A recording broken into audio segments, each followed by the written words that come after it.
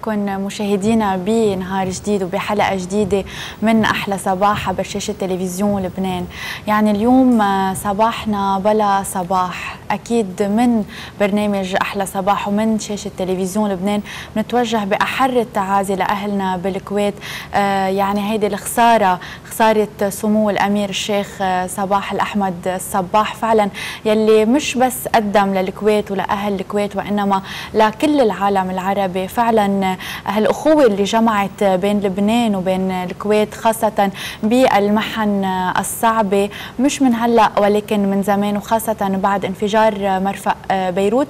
وهن كانوا سابقا قدموا الاهراءات للبنان ولكن بعد الانفجار دمرت. وتيحافظوا على عربون الأخوة بين هالبلدين. قرروا أيضا كمان يرجعوا يمكن يقدموا إعادة أعماره. يعني تنروح بهذا الحديث ونحكي فعلا عن إنسانية سمو الأمير عن إنسانية أهل الكويت وفعلا هالخسارة للوطن العربي.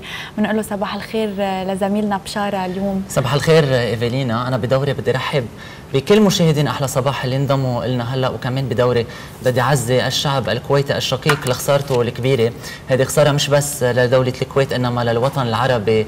كله يعني مثل ما كان ما ذكرت زميلتي إيفيلينا سمو الأمير كان صديق كبير للبنان، ساهم بإعادة أعمار العديد من المدن اللبنانية وشارك بالعديد من المشاريع الإنمائية للبنان، يعني نحن بنتمنى دولة الكويت بدنا نعزيها وبنتمنى تضل مزدهرة تحت رعاية سمو الأمير الجديد الشيخ نواف.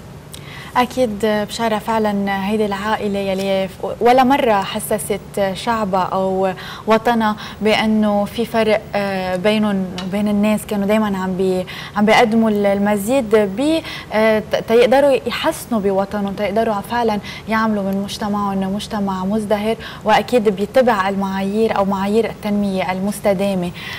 وأكيد بدنا نروح هلأ يعني جولة عالمية. بدي أحكي شوي بما أنه عم نحكي عن الأخبار الدولية بدي أرجع شوي بلش أحكي عن حدث مهم كان عم بيصير من بضع ساعات بالعالم بالتحديد بأمريكا وهو المناظرة الأولى بين الرئيس الأمريكي دونالد ترامب مرشح الحزب الجمهوري وجو بايدن مرشح الحزب الديمقراطي لرئاسة الولايات المتحدة الأمريكية. يعني إيفلينا مثل ما بتعرفي أقل من 40 يوم بيفصلونا عن الانتخابات الأمريكية. هذا الحدث المهم والمناظرة يمكن صارت كنا نحن يمكن بعدنا نايمين لكن بلشوا يطلعوا ردود الفعل والتحليلات صحيح يعني وعلى تويتر يعني خاصة اليوم عم نشوف تويتر سوري قديش عم بيكون آه إذا بدنا نقول وسيلة سياسية عم تعتمد حتى اللي بمطرح معين يروجوا لحملاتهم الانتخابية أو عم بيصير في حرب على تويتر أكيد. حرب إعلامية أكيد خاصة بين الطرفين ولكن دايما عم بيكون في نوع من هيك الطرافة نوع صح. من ساركازم إذا بدنا نقول بمطرح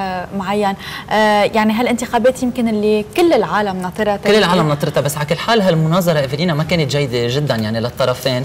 عم نقرأ شوي بعض التحاليل كانت جدا سلبية كان في كثير تهجم بالشخصي يعني. وكانوا في دايما عم يرفضوا طلبات بعض. صحيح. آه مثل ما قريت إنه آه ال team تبع بايدن بيطلب إنه يصير هيك بيعملوا لهم آه يعني non approval وبيرجع بعد يعني يعني جو بايدن نعت الرئيس الأمريكي بالمهرج بالكاذب والرئيس الأمريكي دونالد ترامب اعتبر انه جو بايدن منه ذكي كفاية ليصير رئيس جمهورية وهلأ من تقريبا ساعتين غرد جو بايدن عم بيقول إنه عم بيتوجه للناس وعم بيقول لهم ما كفاكم أربع سنين منا بحاجة لأربع سنين ثانيين كان عم بيقول إنه ما بقى بدنا دونالد ترامب. على كل الأحوال إن شاء الله تكون مين ما اجى يكون خير للعالم للعالم وللبنان يعني كان في كثير مواضيع انطرحت امبارح انحكى بموضوع الاقتصاد اللي هو موضوع بهم كثير الشعب الأمريكي بهيدي الفترة حكى أكيد عن العنصرية يعني مع ال movement Black Lives Matter يعني حتى كان في ادانه لدونالد ترامب امبارحه إنه ما دان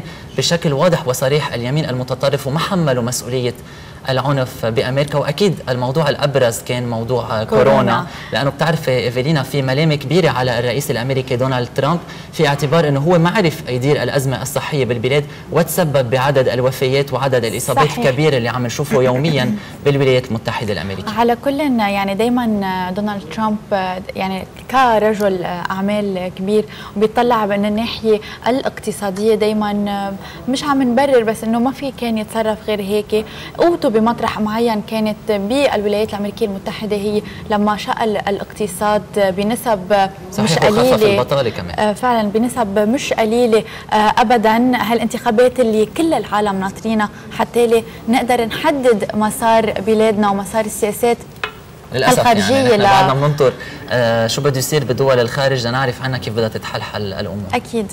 آه اليوم أكيد مثل ما حضرتك ذكرت يعني آه أمريكا بعدها بالصدارة بجائحة كورونا. من بعدها الهند ومن بعدها البرازيل وروسيا. أكيد الأعداد يعني بالأيام الأخيرة كانوا عم بيقولوا تخطوا 30 مليون مصاب بكورونا. هالعدد يلي مش قليل ابدا. وإنما أيضا بلبنان الموضوع ابدا مش تسلية. يعني اليوم عم ننتقل من المجتمع للسجون ومن السجون على المستشفيات. هالأمر يلي ممكن يسبب آه، هلع فعلا. آه، هلع يعني بالساعات ال 24 الأخيرة. كان في عنا 1105 حالات مقسمين على 1090 حالة من المقيمين و15 حالة من الوافدين. في عنا 10 آه، وفيات. على كل مشاهدينا بنطلب منكم إذا حسيتوا بأي عوارض حسيتوا على غيركم إنه عنده عوارض أو أي شيء رجاء اتصلوا بالخط الساخن الخاص بوزارة الصحة 12 14 أو 01 59 44 59 وما تترددوا لأنه صحتنا أولوية صحة أهلنا أولوية وصحة كل يلي حوالينا وخاصة كمان بطلب منكم ننتبه على صحتنا النفسية خاصة مع قدوم الخريف وازدياد الصدمات صحيح. اللي بدنا نتصدى لها آه، لاحقا يعني اليوم آخر نهار بشهر أيلول يعني فتنا بالخريف آه، فعليا واصلا بلشنا نحس يعني العالم بلشت تطلع من جو الصيفية وعم تتحضر لفصل الخريف. على كل حال حلقتنا اليوم آه، متنوعة. شو رأيك ايفلينا نعمل جولة على ضيوفنا ومواضيعنا؟ أكيد light اليوم شوي المواضيع. صحيح. أنا اليوم رح يكونوا ضيوفي فرانس فرانس دو ارون جاتشا هو directeur des opérations spéciales ب France Télévisions رح نكون عم نحكي سوا عن النهار اللي عم بتخصصه France Télévisions لدعم لبنان غدا بكرة يوم الخميس رح يكون في نهار مخصص للبنان على جميع القنوات الرسمية بفرنسا. أكيد وكمان رح نروح بفقرة حلوة وبحوار حلو مع يارا زخور الممثلة اللبنانية اللي شاركت بفيلم زمن كورونا. يعني فعلا هالزمن يلي بيشبه الفيلم مش عم نصدق إنه هيدي حقيقة بمطرح معين. ورح نتناول أهم الأحداث وخاصة إنه صور بطريقة كثير عصرية وكثير مش إنه professional آه، بس بالتليفون يعني. يعني كان كل المشاهد عم بتكون. هو short movie بكل الأحوال يعني. فيلم قصير. وإن شاء الله أكيد ينال إعجاب المشاهدين. وأيضا كمان رح نروح من بيروت على الشمال على منطقة بشري وقضاء بشري مع رئيس بلدية قضاء بشري فريد كيروز. تنحكي أكثر فريدي كيروز sorry. تنحكي أكثر عن المبادرة يلي عم يعملها مع بالتعاون مع مؤسسة روني معوض والتمويل من المنظمة العالمية للعمال حتى يكونوا عم يزرعوا حوالي 400 آه، آه، ألف متر من القمح حتى يشجعوا الزراعة وكمان كرمال الأزمات نقدر نكون عم نلاقي لها حل طبعا إذا لا سمح الله صرنا بأزمة أكيد رح نحكي بالتفصيل عن هالموضوع. رح يكون كمان ضيفنا البروفيسور غسان سكاف رئيس قسم جراحة الأعصاب والدماغ والعمود الفقري بالجامعة الأمريكية ببيروت لنحكي عن موضوع كثير مهم وهو هجرة الأطباء من لبنان. أكيد وبفضلنا يعني الفقره مع شيف نادين اللي كلنا بننطرها من أسبوع لاسبوع أكيد رح تقدم لنا آه، طبخة مميزة حلوة سهلة وأكيد مش مكلفة يعني. وسهلة هلأ خاصة للشباب. إذا بدهم ينقلوا على الفوية يقعدوا لحالهم بيقدروا هن يكونوا عم بيحضروها لوحدهم آه، بالبيت بدون أي مساعدة. عودة لكم مشاهدينا وبنرحب بكل يلي انضموا لنا أكيد مثل ما تعودتوا رح نروح هلأ باتصال مباشر من مصلحة الأرصاد الجوية بمطار رفيق الحريري لنعرف أكثر عن الطقس بالأيام القليلة المقبلة. ورح يكون معنا السيدة منى عمر لتخبرنا أكيد عن حال الطقس. صباح الخير. صباح النور. يعطيك العافية. الله يعافيك. ألو؟ سمعتيني؟ إيه أنا سمعتك. يعطيك ألف عافية. الله يعافيك. آه مدام منى شو بتخبرينا عن الطقس؟ ان راد بالأيام القليلة المقبلة عن الرطوبة عن أكيد هل رح تنحصر موجة الحر أيضا؟ يعني هلأ عم نشوف شوية برود بهالأيام. شو بتخبرينا أكثر عن الموضوع؟ إيه صحيح هو في عنا انخفاض اليوم بدرجات الحرارة خاصة جبل وقاع مبلش قليل اليوم بس يتحول تدريجيا بعد الظهر لغائم جزئيا. في عنا احتمال أمطار بالفترة المسائية خاصة المناطق الشمالية وضباب على المرتفعات. آه، بكرة غائم جزئيا لغائم في عنا انخفاض إضافي وملحوظ بدرجات الحرارة خاصة جبل وبقع الرياح رح تبقى ناشطة احتمال أمطار متفرقة بالفترة الصباحية وضباب على المرتفعات. الجمعة غائم جزئيا لغائم كمان في عنا انخفاض إضافي بالحرارة وخاصة جبل وبقع على الساحل تستقر شوي نهار الجمعة. آه، ضباب على المرتفعات. آه، كمان غائم جزئيا لغائم في عنا انخفاض بسيط بالحرارة آه، بالمناطق الداخلية على الساحل البقية مثل ما هي. آه، في عنا ضباب كمان على المرتفعات. هلا درجات الحرارة اليوم على الساحل رح تكون بين 21 و 35 على المرتفعات من 20 ل 33 وبالبقاع من 18 ل 37 الهواء أغلب الوقت جنوبي غربي ناشط سرعته بين 20 بين 12 و 40 كيلومتر. الرطوبة على الساحل بين 50 و 70% البحر متوسط ارتفاع الموج حرارة المي 29 درجة. هذا كل شيء. شكرا لك مدام عمر من مصلحة مدام منى عمر من مصلحة الأرصاد الجوية بمطار رفيق الحريري. وعلى أمل يعني ما تشتت الدنيا كرمال الناس يلي هلأ عايشة بلا بيوت خاصة بقلب بيروت. بنتحمل الشوب بس ما بنتحمل أكيد أهلنا نشوفهم على الطرقات. شكرا لك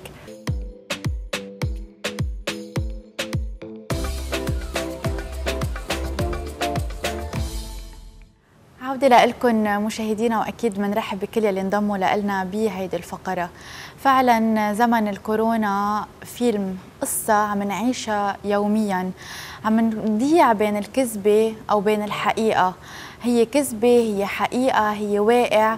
ولكن الكاتب والمحامي ألكسندر نجار حب يترجم هالحقيقة يلي عم نعيشها لفيلم يمكن آه، قصير قصة صغيرة قصة يمكن كتار عم بيعيشوها. وأيضا المنتجة فرح آه، المخرجة فرح شيا حبت الفكرة كتير. والمنتجة أيضا جوزيان بولس رحبت بهيدي الفكرة. لنعرف أكثر عن تفاصيل آه، هالموفي القصير هالموفي يلي فعلا بحاكي الواقع يلي بحكينا كلنا. هالكوميدي يمكن يلي جربت تحول الأزمة يلي عم نعيشها لشوية آه، أمل وفرح على أمل أنه نقدر نقطع هيدي المحنة. بصرنا نستضيف معنا اليوم بالاستوديو يارا زخور حضرتك أحدى الممثلين بهالموفي القصير الحلو فعلا يلي عن جد بيحاكي الناس وكان كتير قريب من الناس خاصة بطريقة تصويره. فعلا. شو بتخبرينا؟ هيك سريعا آه، كيف بلشت الفكرة؟ آه، ليش قررتوا تحكوا عن زمن الكورونا؟ ليش قررتوا تعملوه موفي وليش كوميدي آه هو فكرة الفيلم مثل ما قلت بالأول مستوحاة جدا من واقعنا، يعني من واقع الكورونا، من واقع الحجر الصحي اللي اضطرينا نعيشه والوقايات والوقاية يعني اللي أخذناها الوقاية اللي أخذناها. آه مثل ما قلت آه، ماتر ألكسندر هو يلي طلع بالفكرة وعبر آه من خلال كذا مونولوج عن بكذا شخصية بلسان كذا شخصية. كل شخصية من شخصيات الفيلم بتحكي معاناتها الخاصة. يعني مثلا دوري هو دور صبية اسمها لميا عمرها 18 سنة مغرومة وضايق خلقها بالبيت وما عم تظهر وما عم تروح وما عم تجي. وبيساقي عيد ميلادها بفترة الحجر. وهي كمان مغرومة بشاب كمان من عمرها اسمه وليد وكل الفيلم بيتمحور حول كيف وليد بده يجي عند لميا لحتى يعيدها.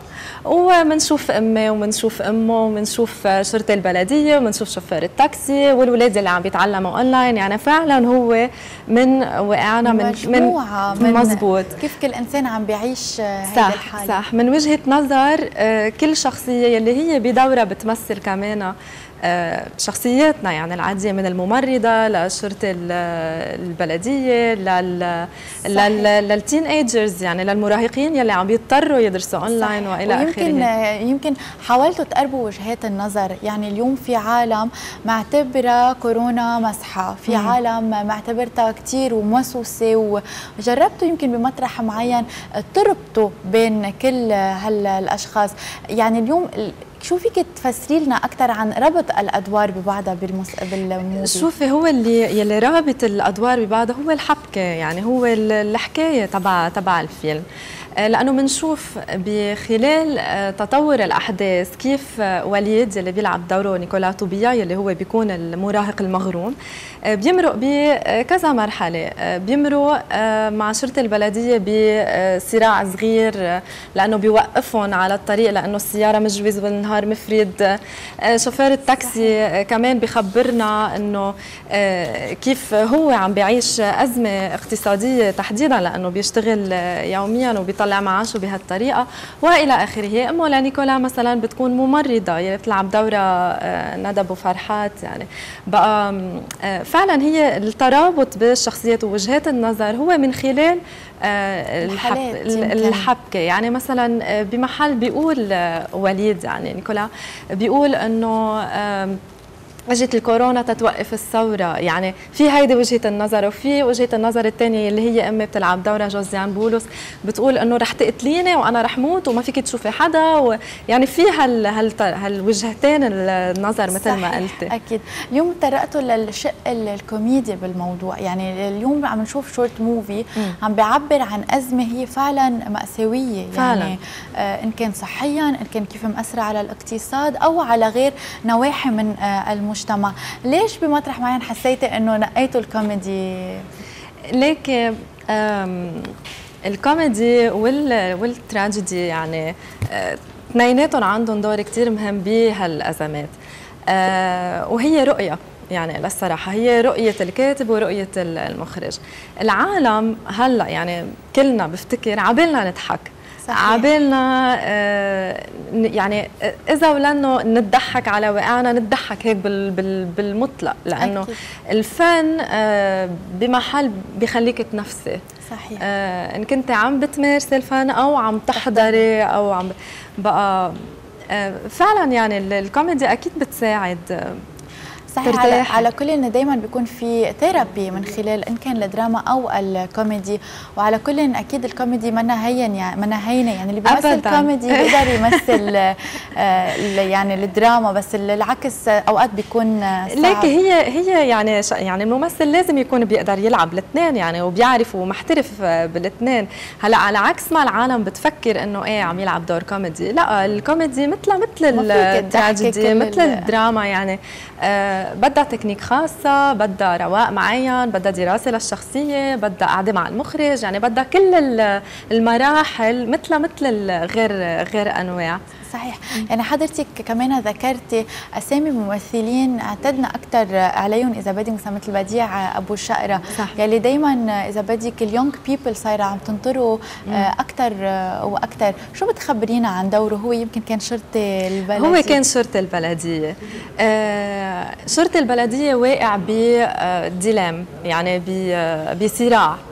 الصراع بيقول إنه هل يا ترى طيب أنا بيشفق قلبي وبخلي هالمراهق يمرق ويروح يشوف آه، آه، صاحبته يروح يشوف صديقته يحكي معها بعيد ميلادها ومراهق يعني إنه هو آه، اللي بيمثل شرح يعني شريحة الشباب أكيد. أو لا لازم نفذ فيه القانون وإنه عامل محضر ب كمان شوفير التاكسي اللي بيلعب دوره وسام كمان إنه واقع بهيدا الصراع. وبديع بفتكر يعني على قد ما أنا شفت اشتغل بهال بهالإطار. يعني جرب يجسد هالصراع يلي بيعيشه وطبعا كل الممثلين عملوا نفس الشيء آه حتى لو كان طريقة التصوير شوي مختلفة بالاحرى كثير مختلفة عن التصوير العادي. يعني نحن صورنا بتليفوناتنا كل واحد من صحيح. بيته.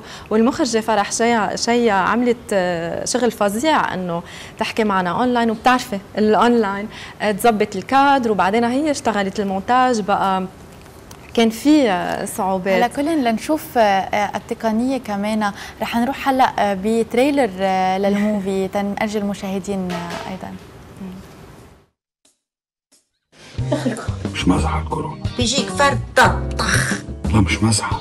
هو لا بتعرف إذا له دواء ولا بتعرف إذا له طعم ما لا شيء. المفروض العالم تقعد ببيتها تتبيبت هلا وقفت على عيدة؟ ضروري أشوفها واليوم ضروري أشوفها. تيس لمخ مش وقت العياد تسلمي لي هلا. عاد في كهربة الداير ما اهتميتش فيها أنا كمان؟ بعد ناقص بس على حظي يمنعوا التبويس مثل ما مانعين التجول بس تخلص الكورونا راجع الثورة. هلا سمعوني الزقفه مشوف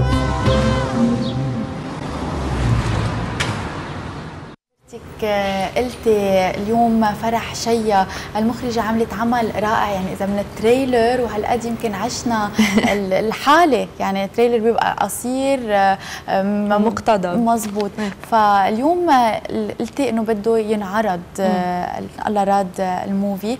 أولا بينتقل على ال festivals وبيرجع. وين العالم بيقدروا يرجعوا يحضروه؟ العالم رح تقدر تحضره أونلاين وبنأمل إنه نرجع نقدر نوزعه يعني. هلأ هو حاليا عم بيبرم فيستيفالات بفرنسا وبأستراليا.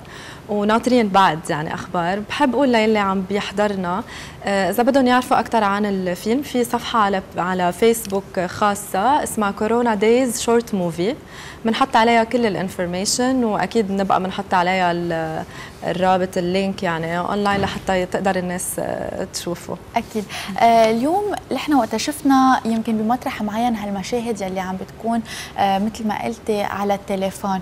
قد إيه المخرجه لقيت صعوبة اليوم؟ مع صعوبة القصص اللوجستية بلبنان. يعني الإنترنت التواصل معكم بدكم تجسدوا الحالات بس بنفس الوقت أنتم بعاد عم تعتمدوا كنتوا عم تعتمدوا فعلا التباعد الاجتماعي. يعني آه يعني في من وراه كمان رسالة إنه اليوم صح. مش بس عم نقدم عم نقول شو هن العالم عم بيعيشوا وإنما في رسالة من خلاله. شو بتخبرينا عن هيدي الحلقة؟ آه شوفي الشغل منه هين. يعني هلا أنا بحكي من وجهة نظري كممثلة. آه نحن اضطرينا كممثلين بمحل نلعب دور ال cinematographer يعني اللي بيكون وراء الكاميرا ال DOP director of photography نلعب دور المخرجة. مش تنتعدى على شيء يعني على فرح بس إنه لنقدر نظبط الكادر لأنه نحن كنا يعني نحن كنا تقنيين على الأرض فعليا. فرح عملت إنجاز. يعني نحن عشر ممثلين وبحب أذكرهم كلهم. ندى أبو فرحات بديع أبو شقرة وسام كمال جوزيان بولس سير إيميلي جيروم. في نيكولا توبيا مثل ما قلت في سيريل جبر في نديم شماس في ميشيل جبر يلي هو بيكون كمان بيلعب دور التاجر. وفي أنا. بقى كلنا فعلا عملنا effort أه ومنه هين لممثل يلي هو بيتمرن يعني إنه ما يتطلع بالكاميرا أه ما يكو ما يحكي directement مع ال public بأغلبية أه ال ال ال الأشياء اللي اللي بنقدمها فانطلب منا إنه نطلع straight بالكاميرا. بقى هذا الشيء كمان تحدي يعني يعني يعني يعني بمحل هلأ طبعا لازم نقدر نكون نعمل هالشيء بس وبحب أقول إنه فعلا تبعنا التباعد الاجتماعي. يعني أنا لعبت دوري إني مغرومة بوليدي اللي هو نيكولا توبيا وأنا ما شفته لنيكولا وما كنت بعرفه. آه تعرفنا يعني هيك أنا حضرته وهو حضرني. آه هيدي هي. آه ما شفنا بعض حكينا مع بعض طبعا وجوزان هي ال producer كمان كانت عم بتتنسق معنا كلنا وفي البعض منا كمان حكي مع ألكسندر بقى. هيك كان عم بيصير على كل دائما الممثل بنعرف إنه بيطلع من الحالة يلي هو فيها بيعاد بحياته الطبيعية وبفوت بحالة ثانية عن جد بيعيش الدور. يعني نحن بنعرف قديش بتبقوا وقت أنتم عم تقروا السيناريو أو النص التمثيلي يمكن تقعدوا أيام وأيام بس عم تطلعوا من حالتكم الطبيعية وبتبقوا أيام تطلعوا من حالتكم اللي كنتوا فيها. شو بتخبرينا عن هدول التحديات يعني؟ لك هي تكنيك يعني وكل ممثل هو بيلاقي التكنيك تبعه. في ناس كثير بتتماهى مع أدوارها في ناس أقل في ناس تعتمد غير طريقة. هلا أنا شخصيا بدوري كلاميا كثير حطيت حالي محلها يعني. وحتى في أوقات ارتجلت شوي بالنص اشياء بمحل بقول إنه ما اجزت من راسي إنه جربت كمان جسد هالشباب الصغار كيف بيحكوا مع مع أهاليهم. فدائما الممثل عنده هالتحديات وعنده هالفرصة إنه يختبر إشياء بحاله ويختبر إشياء بشخصياته كمان يعني. ياما أوقات بنلعب شخصيات منا قريبة منا أو نحن بعاد عن جوا بقى بنعمل ريسيرش وبنفوت باعماقها أكثر صحيح. آه اليوم كمان عرفنا إنه الموفي رح يتم ترجمته حتى ينعرض كمان ببلدان أخرى. آه خبرينا أكثر الكاتب ألكسندر نجار آه، هو عم بيقوم بهيدي الترجمة. اولا للفرنساوي آه، بكل بساطة لحتى نقدر نوصل رسالتنا لأكبر عدد ممكن من الناس حول العالم كله عم بيعيش العالم كله عم بيعيش الكورونا والعالم كله هلأ خصيص يعني خصوصا ب domaine الفن عم يتجه لهيدي الطريقة الأونلاين. يعني عم نجرب نلاقي بديل بتعرفي لأنه المسرح هلأ on hold حتى كمان السينما في كثير معايير جديدة عم تتاخذ وتدابير جديدة. صحيح. بقى أكيد ترجمة النص بتساعد انه إنه نحن نوصل رسالة الفيلم ونضحك كمان ونفوت على يعني بقمة الناس وعلى صح. بيوت الناس صح. حتى لي أوقات العالم عم بتحس حالها إنه ليش أنا بس عم اعيش هيك أو ليش هالسنة هيك علي مزبوط. يمكن عم بتقولوا لهم للعالم إنه لا ما تعتلوا هم آه مثل ما قلنا بأول كورونا إنه we are all in this together يعني. نحن كلنا بهيدا الشيء آه مع بعض مزبوط يعني كلنا عم نعيش نفس الشيء كلنا عنا نفس القلق كلنا عنا الخوف من بعدين آه خيفانين على شغلنا خيفانين على حياتنا كيف بدنا نكفي وشوي شوي يعني عم نبلش مش إنه نتعود بس عم نبلش ناخذها يعني بجدية أكبر وبأمل إنه هذا الشيء يصير. آه يارا يعني إحنا اليوم عم نشوف قديش الإعلام الرقمي عم بيأثر قديش الحياة الرقمية يعني ال digital life مثل ما شفنا عم بتصوروا بالتليفونات تبعته يمكن للمخرجة آه كله عن بعد ما بقى في ال social إذا بدنا نقول communication يعني face à face أو تواصل اجتماعي وجه لوجه. قد إيه أنت اليوم كصبية كشابة كحدا دارس مسرح وبيعرف قديش فعلا أهمية المسرح بحياتنا اليومية؟ يعني المسرح هي مش مجرد مسرحية رح نحضرناها صح. أو موفي حضرناه هي عن جد علاج عم بيكون. قد إيه بتحسي رح ينجح التمثيل والمسرح والسينما؟ يعني الشق الفني التمثيلي بعالم العالم الرقمي اليوم؟ شوفي بلشنا نشوف نتائجه يعني في كتير تجارب وفي كتير آه، آه، مبادرات آه، عم تطلع حتى نلاقي البديل. وبحب أقول شغلة نحن كشعب وفنانين لبنانيين دائما عندنا creativity عن جد فريد من إبداع. إبداع فريد من نوعه. أه بحب أحكي مثلا عن ال initiative اللي عم في اثنين شغلتين عم بيصيروا. مبادرتين. أه مبادرتين عم بيصيروا. أه كرمال نخلي المسرح ماشي وكرمال نرجع نساعد بعض نرمم يعني المسارح يلي تدمرت. في Theater Relief Group وفي همسات Whispers كمان هي مثل platforms لحتى يكون يكون في donations يعني تبرعات للناس للممثلين وللمسارح وللناس الفنانين يلي متضررين. آه بقى هيدي الشغله منيحة. هلأ اللي بيواسي أنا ما ب... يعني شخصيا ما بقول إنه في شيء آه بي بيجي محل المسرح 100% أو بحل محل المسرح 100% لأنه المسرح طبيعته هو فن آني يعني فن لحظة يعني بدك تعيشيها للحظة بده يكون فيها ال contact direct مع الجمهور ال energy اللي بتحسيها بالصالة غير. صحيح. أوقات بيقولوا لنا حتى آه، إزاحة الستائر يعني ال rideau أو البرادة عندها بتفوت بتفوت الممثل بحالة لها رهبة لها يعني قد ما أشرح عنها لازم لازم هو الشخص يختبرها. بس كمان يعني نحن لازم نستمر يعني ما لازم نوقف محلنا. فهلأ في هيدا البديل اللي هو الديجيتال آرت إذا بدك آه، الفن الرقمي. ليش لا؟ وشخصيا بقول إنه ما في شيء بيدوم للأبد يعني إلا ما يجي نهار ونرجع على خشبات المسرح ورح نرجع بقوة لأنه الناس بحاجة ونحن بحاجة. وعرفت قيمتهم. يعني صارت تقول إنه أنتم تتذكروا أيام يعني عن جد صارت تعرف قيمة القصص أكثر مزبوط. يعني بيقولوا أوقات مصائب قوم عند قوم فوائد إنه يمكن بكل المصايب اللي إحنا فيها عم بجربوا يحنوا للماضي للقصص اللي كانوا يعيشوها وبدهم يرجعوا يعيشوها. لأنه على قد ما يمكن الفن الرقمي الإعلام الرقمي الحياة الرقمية هي سهلة هي بتأمن لك الانفتاح على كل العالم. يمكن على قد ما هي كمان آه صعبة. اليوم أيضا حضرتك كشابه وكمثلتي بهيدا الموفي وعشتي يمكن لما عم تشوفي أدوار غيرك عشتي كل الحالات. شو بتوجهي كلمة إن كان للشباب يلي هلأ عم بيعيشوا هيدي الفترة وعايشين بضياع خاصة مع العودة للمدارس والجامعات وللحياة الطبيعية ولكن عن بعد. هيك وخاصة يعني لكله بده يهاجر. شو بتقولي لهم؟ هيك سؤال منه هين. بس من وحي سؤالك بحب أقول إنه كمان كان معنا عدد من الطلاب من التلاميذ المدارس كمان مثلوا معنا بالفيلم آه، بشق ال online learning يعني التعليم عن عن بعد.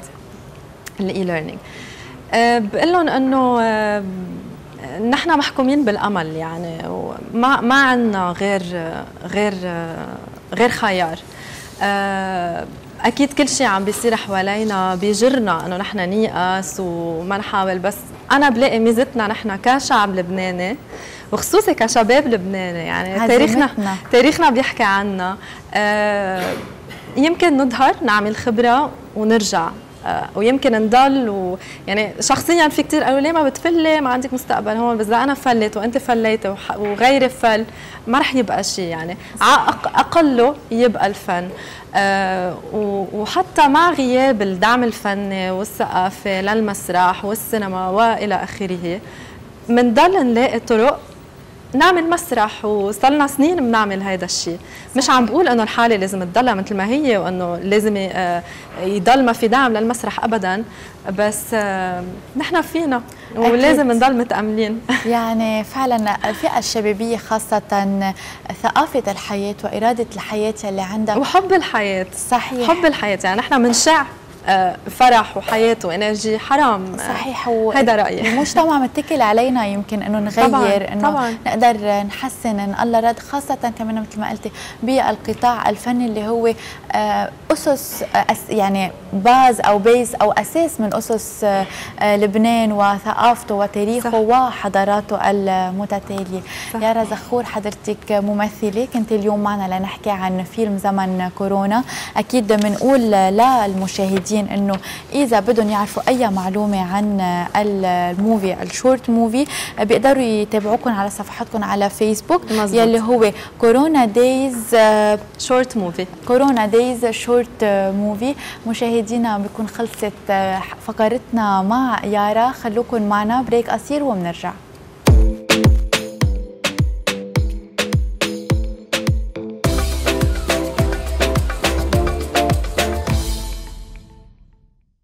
عودة لكم مشاهدينا وأكيد بنرحب بكل يلي انضموا لنا بهيدي الفقرة. آه فعلا بهيدي الفترة خاصة كورونا الوضع الاقتصادي الأزمة الاقتصادية آه ما عاد عنا إلا أنه نلاقي العديد من الحلول حتى نستمر خاصة بما يخص القطاع الزراعي أو القطاع الغذائي. يعني اليوم العالم عندها مخاوف عديدة. هل رح يضل في عنا خبز؟ هل رح يضل في عنا طحين؟ هل رح نقدر ناكل؟ هل رح نقدر نطعمي آه، أولادنا. كل هدول الأسئلة أكيد رح يتجاوب عنهم بمبادرة عن جد فعلا حلوة. فعلا بترجع بتنمي القطاع الزراعي يلي آه، كان هو بمطرح معين. آه، نبض الحياة بلبنان اتكلنا عليه اتكلوا عليه جدودنا وأهلنا. وحتى نحن تنعرف أكثر عن هالمبادرة يلي هي زراعة مساحة مساحة من 400 ألف متر بمنطقة آه، بشري بالتعاون أكيد مع مؤسسة آه، ريني معوض والتمويل أو الجهة المانحة كان من المنظمة العالمية للعمال. بصرنا نكون باتصال مباشر عبر سكايب مع رئيس بلدية بشري فريدي كيروس. صباح الخير. صباح النور لك وللمشاهدين يعطيكم ألف عافية. فعلا هالمبادرة الفريدة من نوعها والحلوة واللي بتشمل عدة قضايا يمكن بمبادرة صغيرة. شو بتخبرنا أستاذ فريدي عن هيدي المبادرة أو عن هالموضوع وكيف بلشتوا فيه؟ أه بصراحة بتعرفي نحن اليوم بأزمة اقتصادية كثير كبيرة بالبلد. أه بلدية لبنان بحالة عجز أه كامل. أه فتوجهنا إلى الهيئات المانحة. نحن بنعرف اليوم في برامج للهيئات المانحة هي بتساعد ل ترميم المدن والمناطق النائية. وإقامة مشاريع بهالمناطق ومشاريع زراعية. نحن السنة قررنا ببلدية بشري أكيد بالتعاون مع مؤسسة رينيه معوض اللي هي مسؤولة عن هذا المشروع من خلال منظمة العمل الدولية إنه نتوجه على القطاع الزراعي. ليش على القطاع الزراعي؟ كلنا عايشين بهاجس. رفعوا الدعم نحطوا الدعم طلع الدولار نزل الدولار. اليوم نحن بمنطقة بعيدة عن المدينة نحن بمنطقة بدنا نشتغل على الاكتفاء الذاتي. من هالمنطلق 100 ألف متر مربع من القمح اللي بتنتج حوالي بين ال 400 لل 500 طن من القمح وهيدي بدها تتوزع على كل أهالي مدينة بشر. هل رح يتم التعاون مع بلديات أخرى؟ يعني اليوم حضرتكم يمكن كان عندكم المساحة إنكم تقدروا تزرعوا القمح بهيدي المساحة الكبيرة. أكيد الأولوية بتكون طبعا لاهالي المنطقة طبعا ولكن هل رح يتم لاحقا التعاون مع بلديات أخرى خاصة إنه هيدا الهاجس عند كل الناس بلبنان؟ آه هلا هو عمليا آه هو المشروع هذا مخصص لبلدية بشار. هلا نحن شو رح يصير؟ عمليا هيدي ال 400 ألف متر رح تكون مقسمة اسمين في 200 ألف متر هن من أملاك البلدية بلدية بشري رح ينزرعوا وفي 200 ألف متر هي للمزارعين. نحن رح نطلب من المزارعين كل حدا عنده شقفة أرض أقل من 10000 متر. بيقدم طلب بيجيب إفادة إنه هيدي الأرض ملكه. نحن بنزرع له إياها بنهتم فيها وبنحصدها هو بياخذ 60% من المحصول وبيبقى 40% بيعطيهم للبلدية. البلدية هيدا الستوك اللي رح يكون عندها رح توزعه على كل المقيمين. هلأ أكيد نحن إذا في عائلات محتاجة بحاجة للقمح وعندنا فائض بقلب بشري أكيد نحن ما رح ما رح نتخلى عن أولاد قضاء بشري رح نكون حدهم ورح نأمن لهم إياهم ونقدم لهم إياهم. صحيح يعني ما حدا أستاذ فريدي بيزيد عليكم بكرمكم وكل أهالي الشمال ومنشد على إيدكم. طبعا اليوم لفتني بحديثك إنه حضرتكم كمان عم تلجأوا لأراضي للمزارعين. يعني أنتم اليوم بهيدي المبادرة كمان عم تتوجهوا لشيء ثاني اللي هو عم ترجعوا تحيوا الزراعة تعطوا هالمزارعين يلي بمطرح معين ما بقى يعرفوا يمكن شو بدهم يزرعوا أو عندهم أراضي مش عم يعرفوا يستثمروها. عم بتشجعوهم كمان وتقولوا لهم أنتم كمان رح يكون في ربح لكم منفعة إن كان معنوية إن كان مادية حتى اللي يرجعوا يحسوا حالهم بميدان العمل الزراعي. وأيضا عم بتساهموا بمطرح معين باللامركزية الديموغرافية. يعني اليوم لما بتخلقوا فرص عمل من خلال هيدا هيدي المبادرة ببشري اليوم في كثير شباب يمكن بلا عمل رح يطلعوا على بشري. قد مهم هيدا الموضوع اللي عم تعملوه؟ قد عم تتلقوا أصداء إيجابية من الناس. 100% آه اللي عم تحكيه شغلة كثير مضبوطه نحن آه منطقتنا هي بالدرجة الأولى. آه منطقة سياحية بنسبة 30 ل 40% وزراعية بنسبة 60 ل 65% اليوم نحن السياحة آه ما بقى عندنا سياحة سواح تجي من برا بسبب ظروف كورونا والوضع الاقتصادي بالبلد. آه عم نتكل على السياحة الداخلية ومن هالمنطلق نحن من فترة افتتحنا مغارة أديشة اللي كان صار لنا خمس خمس سنين مسكرينها وعاملة امباكت كثير كبير وأنا بدعي العالم من عبر شاشتكم يطلعوا على مغارة أديشة لأنه نحن بأكتوبر هو آخر شهر هيدا السنة بتكون مفتوحة.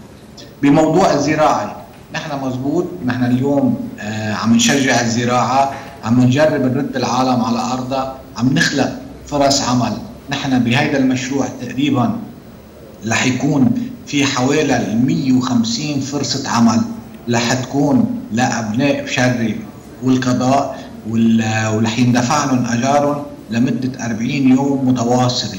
لا يزرع لا يفلحوا الأرض لا يزرعوها لا يرشوا الأسمدة.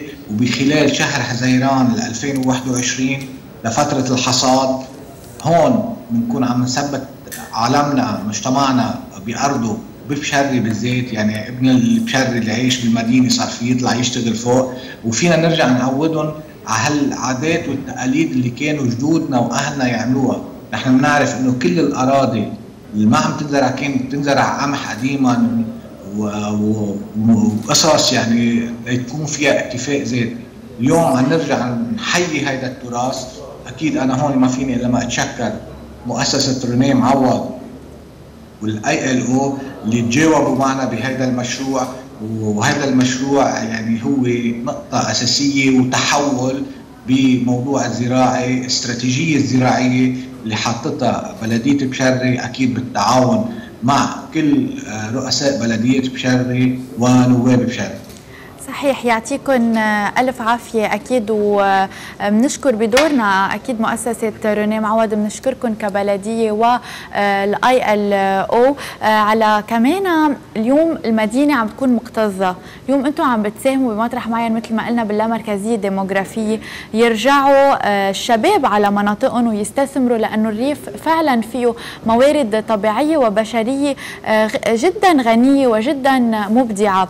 فيعطيكم ألف عافية. اليوم بهيدا الإطار إنه نحن اليوم عم نرجع نرد العالم على موضوع الزراعة. يمكن مش الزراعة التقليدية وإنما الزراعة الحديثة ولكن هيدا قطاع أساسي. اليوم شو بتقول لهم للشباب يلي هن من بشري وقاعدين ببيروت؟ شو بتقول لهم هيك لترجع تشجعهم إنه إذا أنتم ما عندكم شغل بالمدينة طلعوا رجعوا استفيدوا من منطقتكم؟ أه بتعرف اليوم الوضع صار كثير صعب والمعيشة ببيروت هي أصعب وأصعب. يعني الكلفة المعيشة عم تزيد كلفتها وخصوصي مع الدولار. وأكثر من هيك عم نشوف نحن الشركات والمصارف كلها عم تفلل تقريبا اكثريه موظفينا. نحن أنا بدي شباب بشاري أكيد نحن هيدي نوع من المقاومة. فترة الحرب كنا مقاومين على الجبهات كنا بالصفوف الأمامية. اليوم هي المقاومة اقتصادية. المقاومة الاقتصادية قوامها إنه نثبت حالنا بهالأرض. ما رح حل حدا يفللنا من أرضنا. آه بدنا نقاوم من خلال الزراعة من خلال خلق فرص عمل لهيدا الشباب. اليوم نحن في مشروع ثاني كمان عم عم يتنفذ ببشري من خلال آه للتنمية جي آي زد عم ندهن كل واجهات بشري كمان بهذا المشروع عم نشغل حوالي 150 شاب وصبية يدهنوا واجهات بشري لمدة 40 يوم، يعني اليوم نحن كل توجهاتنا عم بتكون على الهيئات المانحة لأنه اليوم البلديه آه سوري الدولة أفلسة آه لسوء الحظ. ولكن بدنا نفتش على الطرق لنقدر نثبت شبابنا بهذه الأرض وما يهاجروا، أنا بعرف انه الظرف كثير صعب، أنا بعرف إنه في كثير شباب عم تقدم على السفرات.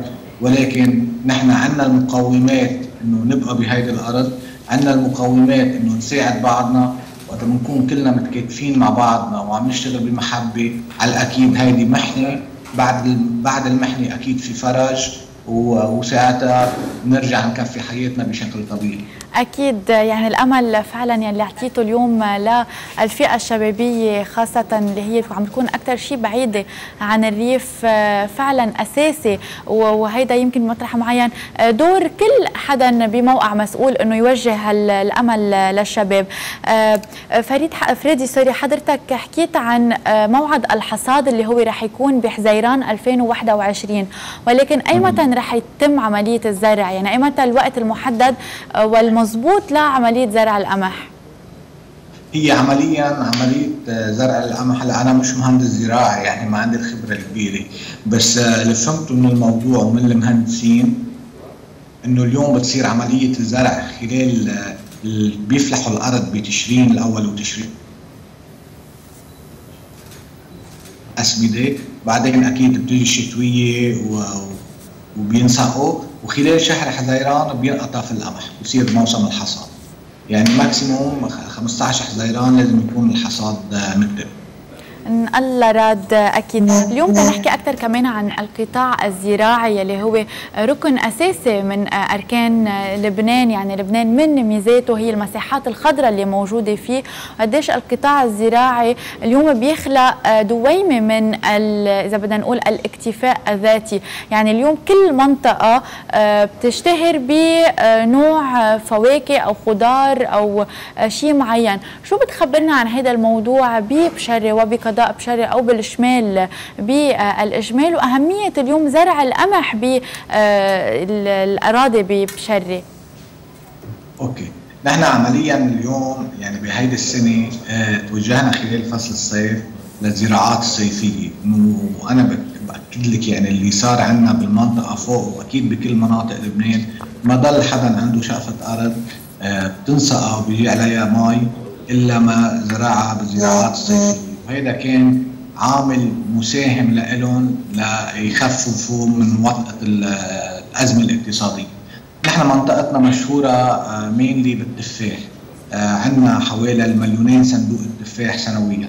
لسوء الحظ نحن السنة الماضية حوالي بشهر حزيران 2019 قضيت على الموسم بالكامل واثر على الموسم على هيدا على مدة سنتين يعني عمليا. نحن السنة موسم التفاح آه، أبناء بشري انجى آه، بقيموا المونة تبعيته. ولكن سعر التفاح السنة آه، سعر كثير منيح عم بتكون الصندوقه ب ألف وطلوع. الوقت اللي كانت قديما يعني من سنتين بقيمتها ب 5000 ليرة. هذا شغلة إيجابية. برجع أقول لك نحن بموضوع الزراعة بدنا نستمر. موضوع السنة اثر موسمنا بالتفاح بس على أكيد السنة الماضية السنة الجاية رح تكون أحسن وأحسن. رح نضل حد المزارعين تبعيتنا. نحن أنا ما فيني إلا ما أتشكر المكتب الزراعي بوزارة الزراعة بقضاء بشري آه، على مساهمته مع المزارعين ووقوفه حد المزارعين للتعاونيات الزراعية بكل قضاء بشري لمكتب الزراعي ببلدية بشري ولكل المهندسين الزراعيين. اللي عن جد عم بيقدموا استشاراتهم المجانية للمزارعين ليكون الإنتاج تبعهم آه، جيد والكواليتي كثير منيحة تنقدر نسوقه بلبنان وإذا أمكن خارج لبنان. صحيح يعني أصلا آه، أستاذ فريدي أهل الشمال وخاصة أهل بشري معروفين بانتمائهم للأرض. يعني بس الأرض تدعيهم آه، دغري من تلقاء نفسهم بيقوم نفسهم بيقوموا بالمبادرات. وإذا بدنا نقول الجهود اللازمة حتى تبقى مناطقهم يمكن أحلى المناطق وتبقى فعلا منطقة الشمال بكل مناطقها آه، منطقه المنطقة الخضراء للبنان المنطقة يلي فيها حياة ويلي دائما دائما تعودنا على التكاتف بين المناطق. أكيد نحن بدنا نشكركم بدورنا كلبنانيين كإعلاميين أو كمؤثرين اليوم على هالمبادرة يلي بمطرح معين بتريح الشعب اللبناني. وإن شاء الله يا رب أكيد تقدروا تعملوا بعد أكثر وأكثر وأكثر إن كان لأهالي بشري أو للبنانيين جميعا. حضرتك رئيس بلدية بشري كنت معنا أستاذ فريدي كيروز. لنحكي عن 400 ألف متر مساحه لزرع القمح بالتعاون مع مؤسسة روني معوض والجهة المانحة اي ال أو بنشكرك على اتصالك. أكيد وبنتمنى تكون معنا مرة ثانية بالاستوديو. إن شاء الله خير. ميرسي كثير مشاهدينا بريك قصير وبنرجع لكم.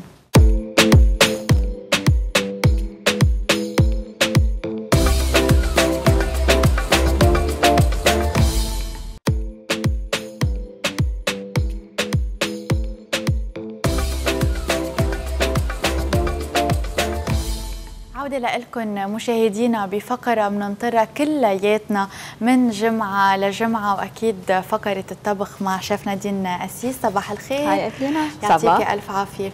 يعني اليوم من المكونات مبين شيء بشهي وبنفس الوقت من المستحضرات أو من الموجودات بالبيت وأيضا شيء جدا آه، سهل. خبرينا عنه أكثر مزبوط. اليوم إيفلين رح نكون عم نحضر جاتو. بس عادة يعني نحن مرقين جاتو التفاح قبل بمرة. آه بس كان إنه جاتو لما تخف البيض على الخفاقه وعرفتي اللي هي إذا بدك الطرق العادية أو التقليدية لصنع الجاتو. اليوم رح نكون عم نحضر هيدا الجاتو اللي هو جاتو التفاح. بتعرفي هلا جاي موسم التفاح وجاي قطف التفاح فبنصير محتارين شو بدنا نعمل بالتفاحات. فرح نعمل الجاتو وست البيت اللي ما عندها خفاقه آه على الكهرباء تقدر تكون عم تعمله على إيدها لهيدا الكيك وبطريقة سريعة وسهلة وأكيد مثل ما أنت قلت من الموجودات بقلب البيت. يعني ما فيه شيء كثير آه ومكلف غريب ومكلف مزبوط. فاذا خلينا آه، نشوف نحن لشو بحاجة. اولا أنا بحاجة لكوب من الحليب وكوب من السكر وكوب من الزيت. يعني عم حتى أعطيهم إياهم يكونوا مثل بعضهم حتى يحفظون على السريع. فاذا كوب من الحليب كوب من السكر وكوب من الزيت. كل شيء سوائل بدهم ينخلطوا مع بعضهم. بدنا نرجع نضيف لهم أربعة بيض و آه للأربعة بيض من بعد ما نخفقهم أكيد مع السوائل. رح نضيف كوبين من الطحين ملعقتين صغار baking powder برش حامض لأنه أكيد في عنا بيض ورشة فانيل كمان لأنه في عنا بيض. الزنخة يمكن. كرمال مزبوط نقضي على زنخة البيض. ونحن بحاجة تقريبا من ثلاثة لأربع تفاحات أكيد قد إيه- حسب قد إيه حجم التفاحة. بدهم يتقشروا هلأ بدنا نعملهم ترانشات ونحطهم على وجهه لهيدا الكيك. وفينا نزين على الوجه بالجوز فينا نزين بالزبيب. يعني شو في عنا؟ فواكه مجففة فيها ما حد شيء نهائيا. وكمان في رش رشة قرفة لأنه على طول نحن لما نقول تفاح يعني آه، بيلبق القرفة. ففينا نحط عليهم رشة قرفة على الوجه. كمان بيعطي نكهة كثير طيبة. أكيد شايف هدول المكونات؟ عفوا قد إيه يعني الكيك قد إيه بيطعمي أشخاص؟ بين 8 ولا 10 أشخاص. يعني بيعمل لك تقريبا بين 8 و10 قطع هلأ رح فرجيهم أنا الصينية اللي رح نحط فيها الكيك ورح نشوف إنه طريقة خبزه للكيك وطريقة تحضيره مختلفة شوي عن الكيك العادي okay؟ يلا خلينا نبلش. رح آخذ أنا مطرحك بس لحتى يكونوا الاغراض قريبين علي. لكن مثل ما قلت إيفلينا أول شيء رح نبلش بالسوائل. صحيح. كوب من الحليب. بدنا نضيف له كوب من الزيت. زيت أه نباتي أكيد. نعم. هذا سؤالك كان. إيه صحيح. زيت نباتي وكوب من السكر. نخفقهم كثير منيح لحتى السكر يدوب مع السوائل. مزبوط مع السوائل. يعني هيدا الشيء عادة ما بتشوفيه بالجاتو العادي عرفتي؟ إنه بالجاتو العادي عادة بنخفق البيض مع السكر وبنرجع بنصير نضيف السوائل له صحيح. اليوم لا كنا عارفين هم إذا بيرفخ ولا لا فاليوم طريقتك عن جد حلوة وسهلة خاصة للشباب والصبايا. يعني اليوم كلنا بنكون أوقات عايشين لوحدنا وبدنا نحضر شيء دسر حلو بس ما قلنا جلد نعمل كل هال إذا بدنا نقول الستبات لنحضر الكيك. مزبوط. فهيك عم بعطيهم طريقة كثير سهلة وسريعة. هلأ ليكي داب السكر آه رح شيل تقريبا كبة لثلاث أرباع كباية لكبايه من هول السوائل حطهم على جنب. وهلأ بنشوف ليه. okay. Okay؟ فاذا رح شيل شوي صغيرة من السوائل وحطهم على جنب. هلأ رح نضيف البيض. مثل ما شايفة ايفلينا أنا آه حطيت البيض. Okay؟ فينا نحن بالبيت نحطهم بيضة ورا الثاني بس على طول أنا بقول شغلة إنه يفضل إنه نتأكد من جودة البيضة. يعني في بصحن نرجع نضيفها حتى بركي طلعت مش منيحة هيك ساعتها بتنزع لك كل المزج صحيح. فاذا أربعة بيض. آه شيف نادين الشيف نادين آه، أوقات بي بيسألوا آه، عن البيضة إذا كانت بالبراد أو برات البراد بتأثر بطريقه رفخ آه، الجاتو. الجاتو مزبوط هي هيدا الحديث لما يكون الدنيا شوب. أه. لما تكون الدنيا شوب كثير آه بس نحن عادة لما تكون الدنيا شوب رح تحطي البيض automatically بالبراد براد إيه فبس لما تكون عم تحضري مورينج يفضل إنه يكون مسقع. مورينج لما تكون عم تضربي الزلال لحاله يفضل إنه يكون مسقع حتى يرفخ. نعم. وكمان كل ما كانت البيضة مسقعة كمان بتساعدك بالرفخ. صحيح. فاذا ضفنا أربع بيض. هلأ برجع بعيد شو عملت؟ برش حامض. الأشخاص اللي ما عندهم مشكلة إنه يحطوا آه نوع من ال alcool تيقضوا على زنخه البيض كمان بيقدروا. رشة vanille يعني ملعقة صغيرة vanille. كمان نحن عم نخفق. ملعقتين صغار baking powder كمان نحن عم نخفق. فعلا حتى الريحة هلا بلشت هيك تعطي. هو برش الحامض وال vanille. مم. سبحان الله وهن الأساس يعني حتى اللي بيعطوك النكهة. صحيح. فإذا رح أرجع عيد. حطيت كوب حليب كوب زيت نباتي وكوب سكر. خفقتهم كلهم مع بعضهم بس داب السكر بالحليب وبالزيت. شلت تقريبا ثلاث أرباع كباية على جنب يعني سوائل على جنب. Okay؟ للباقيين للخليط الباقي ضفنا أربع بيض برش حامض ملعقتين صغار baking powder و vanille هلا بعد ما خلصنا خفق بنضيف كوبين من الطحين تدريجيا للمزيج. ونخفقهم بنفس الوقت. مزبوط. يعني عم تشتغلي لحستي كله بنفس الجات. لهيدا جات نحن منا عايزينه إذا بدك تشيليه نشيله نحطه هون هيدا أول كوب ضفناه. بس ياخد المزيج الطحينات بنضيف الكوب الثاني وهيك خليط الكيك مبدئيا صار جاهز. نشوف كيف عم تشتد العجينة مزبوط هلأ في شغلة حتشوفوها شوي شديدة بتشبه خليط السفوف. مم. Okay؟ Okay. فرح تكون شوي شديدة بس هيدول اللي أنا شلتهم على جنب الخليط يعني اللي هو بلا طحين وبلا بيض اللي شلته على جنب. هيدا الخليط رح يكون من بعد ما نحط التفاح نحن على وجهه رح نحطهم على الوجه. هيدا اللي بيخلي moisty بيصير شوي. مزبوط بيصير juicy الكيك والتفاح كمان رح يكب. من كمية المي اللي موجودة بقلبه. صحيح. فلما تقطعيه لهيدا الكيك رح بتشوفيه إنه juicy وما عم تعرفي ليه صحيح. Okay؟ فإذا هيدا. بسم الله عليك يا شيف. يعني أعطيتينا هلأ تقنية جديدة لأنه الكيك عن جد آه طعمته بقديش هو بيكون هيك رطب آه جوسي أكثر يا هيدول خلصوا. هلأ بدنا نحطهم بقلب حيلا صينية. تدخل على الفرن أكيد. بس ضروري جدا إنه أو يندهن الدواير بزبدة وبتنرش طحين أو زيت وبينرش طحين أو بنحط بكل بساطة ورقة زبدة بكعب الصينية. أوكي؟ هلا رح نحط الخليط. حتى لي ما يلزق مزبوط. ونرجع بنقصقص التفاح. ساعدك بتقصقص التفاح؟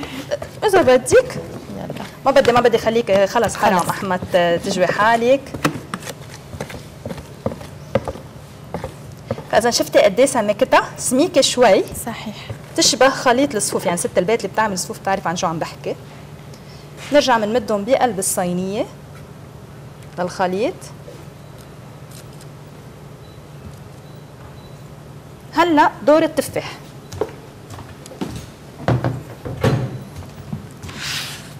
بدنا نقصهم ترانشات.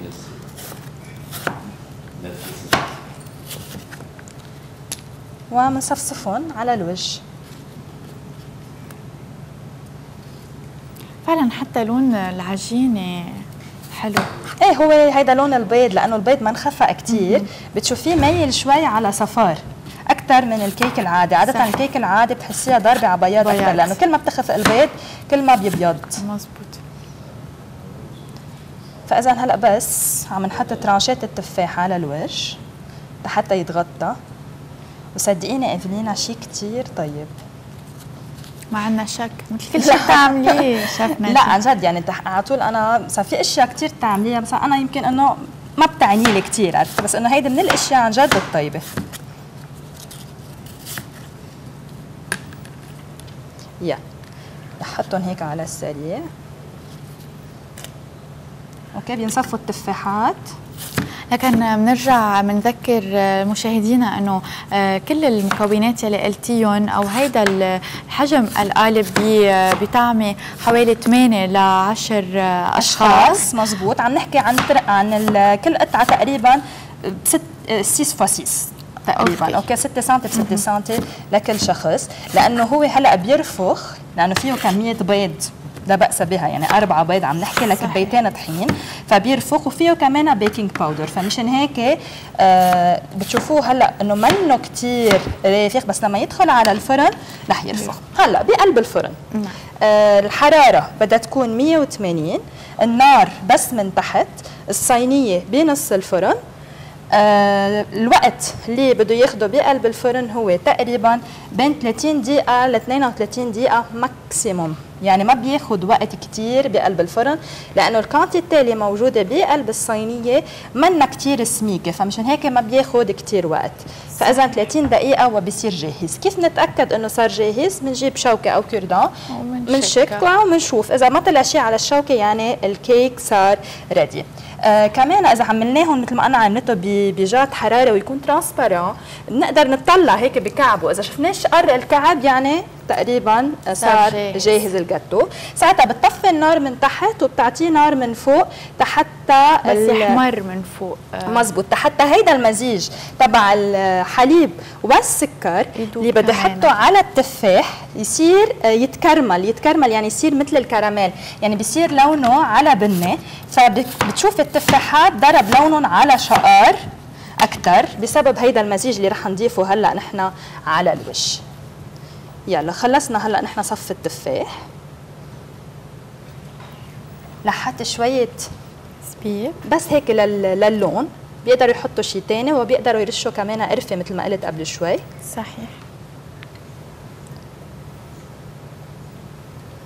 إن شاء الله يكونوا واضحين على الكاميرا لأنه الجات غميق.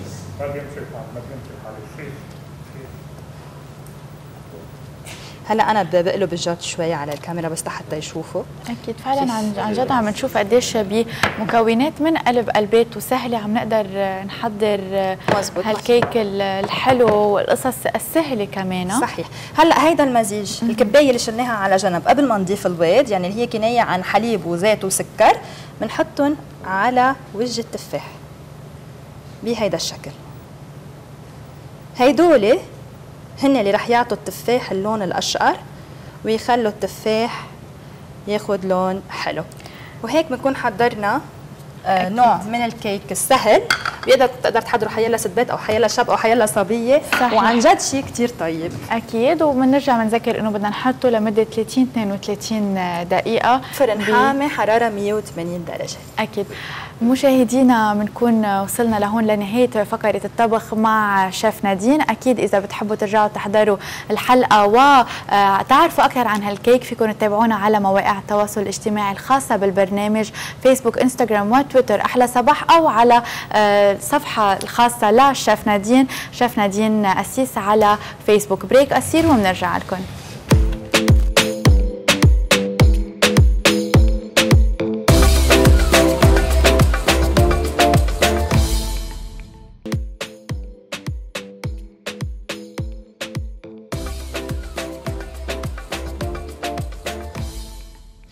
متابعين معكم مشاهدينا أحلى صباح مع موضوع جديد ولقاء جديد. من بداية الأزمة بلبنان وفرنسا واقفه إلى جانب الشعب اللبناني وعم بتحاول تدعمه بطرق مختلفة.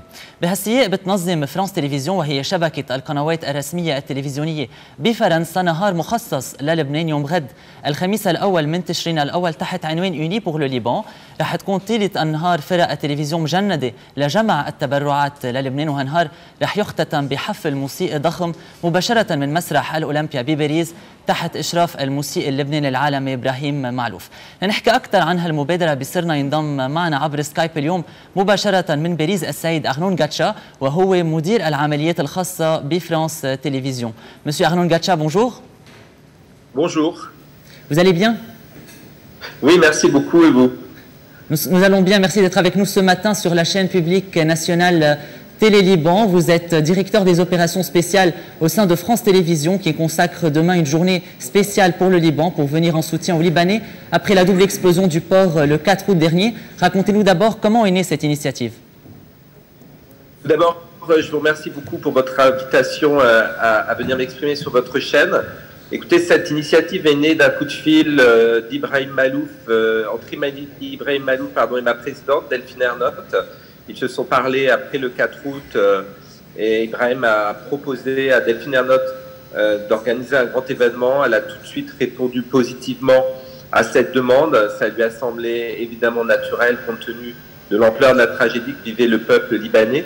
Et puis, euh, en discutant avec le directeur des antennes et des programmes, il a été décidé d'aller plus loin que faire un concert et de mobiliser le groupe autour d'une opération spéciale qui serait consacrée au Liban. Et donc, c'est comme ça que nous avons par la suite construit une soirée, euh, notamment avec le décryptage de l'information, car il, nous semblait très très important qu'on puisse contextualiser, euh, s'appuyer sur le savoir-faire, l'expérience des journalistes de la rédaction. Euh, donc c'est pour cela que, en plus du concert, il y aura ce reportage d'envoyé spécial fait par Élise Lucet. Nous en il y aura tout à également euh, un décryptage euh, de Léa Salamé au cours du concert, puisqu'elle sera en duplex de Beyrouth, où elle fera des entretiens avec des personnalités lors du concert. Et ce grand concert qui sera donc euh, animé par Nagui, une de nos grandes, un de nos grands visages sur le service public et une des stars de, nous en, nous en reparlerons tout à l'heure monsieur Arnaud mais j'aimerais juste traduire rapidement. عم بيقول إنه هالمبادرة أو هالنهار بلش من فكرة أطلقها الموسيقي اللبناني العالمي إبراهيم معلوف وهو اتصل بإدارة المحطة فرانس تلفزيون لينظم حفل موسيقي وبعدين تطورت الفكرة لأنه كان حجم المأساة كثير كبير بلبنان من بعد انفجار 4 أب فطوروا الفكرة وقرروا يعملوا نهار كامل مخصص للبنان ويجندوا كل طاقات فريق العمل يعني عبر كل قنوات فرانس تلفزيون وهيك بلشت المبادره وحتى يعني كان في دعم من قبل من قبل الرئاسة الفرنسية لهذا الموضوع لأنه هي دائما داعمة للمبادرات اللي بتساعد لبنان واللبنانيين. Monsieur Arnaud, cette journée impliquera différentes chaînes au sein du groupe de France Télévisions. À quoi peuvent s'attendre les, les téléspectateurs au cours de la journée Donc on sait qu'il y aura le concert le soir, le reportage, mais durant la journée, à quoi peuvent s'attendre les téléspectateurs qui, j'espère, seront nombreux à vous suivre demain Oui, j'espère aussi qu'ils seront nombreux, mais je n'en doute pas. Euh, d'abord, euh, il faut signaler qu'au cours de cette soirée, il y aura donc un appel aux dons hein, euh, que nous faisons avec la Croix-Rouge française via la Croix-Rouge libanaise. Et puis, ça permettra également d'aider des associations culturelles, les artistes libanais. et cet appel aux dons débutera dès le matin lors de nos différentes émissions nous avons mobilisé notamment des télématins, qui est la grande émission de la matinale euh, sur nos antennes. Nous allons euh, ouvrir, on va dire, euh, la journée lors de Télématin. Et puis, dans différentes émissions tout au long de la journée, nous allons retrouver évidemment une promotion des programmes du soir. Il y aura l'appel aux dons qui, qui, sera fait. Et puis, sur toutes les antennes du groupe, donc France 2, France 3, France 4, France 5, euh, il y aura, et, puis aussi les antennes digitales, parce qu'il ne faut pas oublier qu'aujourd'hui, France Télévisions, c'est aussi des antennes digitales puissantes, importantes. Nous aurons euh, des bandes annonces, euh, l'appel au don qui passera afin que l'ensemble des téléspectateurs du service public puissent avoir connaissance de cette soirée. نعم يعني عم بيقول السيد ارون جاتشا إنه خلال النهار رح يكون في دعوة لجمع التبرعات للبنان ورح تكون هالتبرعات عم تتوزع للصليب الأحمر الفرنسي اللي بدوره رح يعطيها للصليب الأحمر اللبناني كون إنه رح يستفيد منها التبرعات العديد من الجمعيات الثقافيه اللبنانية والفنانين اللبنانيين المشاركين بهذا الحدث ورح يكون في أكيد طلب لدعم وجمع التبرعات خلال النهار حتى يعني بالبروجرام الصباحي تيلي ماتان الشهير على قنوات France. Monsieur Arnaud, quels sont les moyens de participer à cette collecte de, fonds ben, Les moyens de participer à cette collecte de fonds, c'est donc pardon, à travers l'appel aux dons hein, qui sera lancé donc, euh, sur nos antennes. Euh, euh, via, comme je vous disais, la Croix-Rouge française et avec la Croix-Rouge libanaise. Et puis, euh, la Croix-Rouge, euh, un certain nombre de ces dons seront ensuite aussi réaffectés pour aider le secteur culturel et les artistes libanais. Par rapport à la question que vous posiez tout à l'heure, à noter également la forte mobilisation de nos journaux d'information, puisque les journaux, aussi bien du 13h que du 20h, évidemment, relayeront la soirée. Euh, je tiens aussi à préciser que ce partenariat important que nous faisons avec euh, Radio France, avec France Inter au cours de la soirée, euh, c'est à signaler voilà, cette alliance de, ces, de, de, deux des grands groupes publics de médias. Et puis aussi, très vite, nous avons été contactés par TV5 Monde, par France 24. L'UNESCO sera aussi partenaire de l'événement la SACEM. Donc on voit bien c'est une mobilisation très très large qui dépasse même uniquement la mobilisation des médias pour pour vraiment euh, s'ouvrir à des acteurs même institutionnels qui ont voulu euh, être présents et, et, participer euh, à cette soirée exceptionnelle en faveur du Liban. Monsieur Arnaud, la collecte de fonds se fera par SMS Oui, alors il se fera évidemment par SMS. il y aura un numéro de don SMS pour la Croix-Rouge, excusez-moi, tout à fait.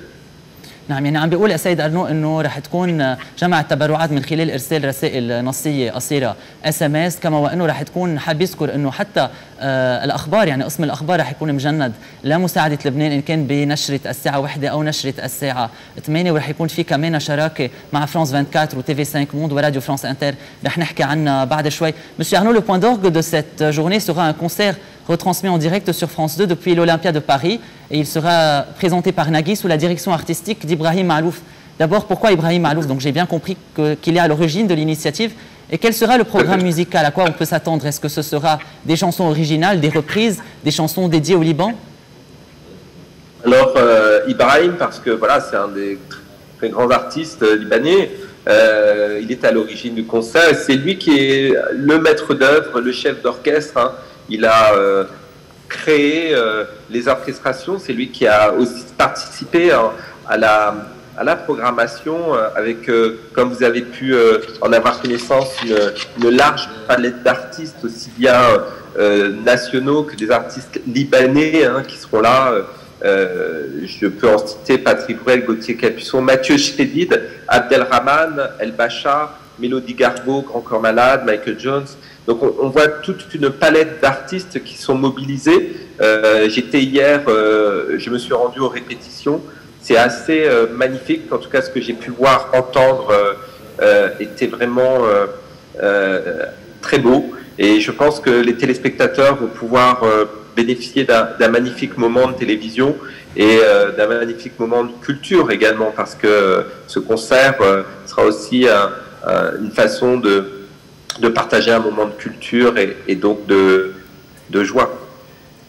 نعم يعني عم بيقول السيد أرنو إنه ختام النهار رح يكون مع الحفل الموسيقي اللي كنا عم نحكي عنه. إبراهيم معلوف هو كان بداية لأطلق هيدي الفكرة مشان هيك هو اللي استلم هيدا المشروع وقدر يجمع فنانين يعني لبنانيين وفرنسيين رح يكونوا مشاركين بهيدا الحفل. نذكر منهم فياني فلوران باني هبة طوجي عبد الرحمن الباشا ماتيو جديد خالد مزنر ميلودي غاردو باتريك برويل وغيرهم. عم بيقول إنه رح يكون concert كثير حلو رح يكون حدث ثقافي وفني وموسيقي بامتياز ورح يكون فيه خلطة لبنانية وفرنسية وفيه يعني آه انواع موسيقيه متعدده وفنانين من كل من كل المجالات. Monsieur Arnaud, un reportage à Beyrouth sera lancé en début de soirée, lancé par Élise Lucet. Et euh, donc, c'est un reportage signé Romain Boutillier et Baptiste Lègle qui sont venus à Beyrouth et qui ont rencontré des survivants de l'explosion qui essaient de reconstruire leur vie. À quel point il est important aujourd'hui vraiment de mettre l'accent sur une note d'espoir, euh, une note d'optimisme et vraiment de mettre l'accent sur ces Libanais qui essaient de reconstruire leur vie, qui essaient de s'attacher à la vie et qui essaient vraiment de croire en un avenir euh, meilleur. Écoutez, comme je vous disais euh, lors du début de cette interview, il nous a semblé essentiel de pouvoir associer la rédaction euh, à ce grand moment que nous faisions sur nos antennes euh, autour du Liban. pourquoi? Parce que justement, la rédaction vient apporter à travers ce reportage, et notamment aussi à travers les, les, duplex que Léa Salamé fera lors du concert, venir apporter cette, ce décryptage et puis surtout euh, des témoignages de, des Libanais, des Beyrouthins qui au, quotidien euh, se battent pour, euh, pour voilà, reconstruire leur vie, pour, pour reconstruire leur pays. et donc c'était important pour nous d'être là, de, de, montrer cette énergie et cette volonté de ce peuple de se relever après cette tragédie. نعم يعني عم بيقول السيد ارنو إنه ببداية السهرة قبل الحفل الموسيقي رح يكون في ريبورتاج خاص مدته 30 دقيقة رح ينعرض وهو تصور ببيروت. هذا الريبورتاج هو مقابلات وشهادات حياة مع مصابين اللي انصابوا بانفجار بيروت إنما قرروا إنه يكملوا آه، حياتهم. وهو بيقول إنه كان كثير مهم يفرجوا إرادة اللبنانيين وإصرارهم على الحياة وتمسكهم بالبقاء بلبنان والعيش بكرامة ببلدهم والإيمان بمستقبل آه، بمستقبل أفضل. مسيو ارنو vous mentionnez que notre collègue Léa Salamé رون rend duplex بيروت euh, Beyrouth. J'imagine qu'il y a qu'il a dû avoir une grande organisation une grande mobilisation pour vraiment faire cette organisation entre Paris Beyrouth. Racontez-nous comment cela s'est passé et comment vont les préparatifs euh, en ce moment.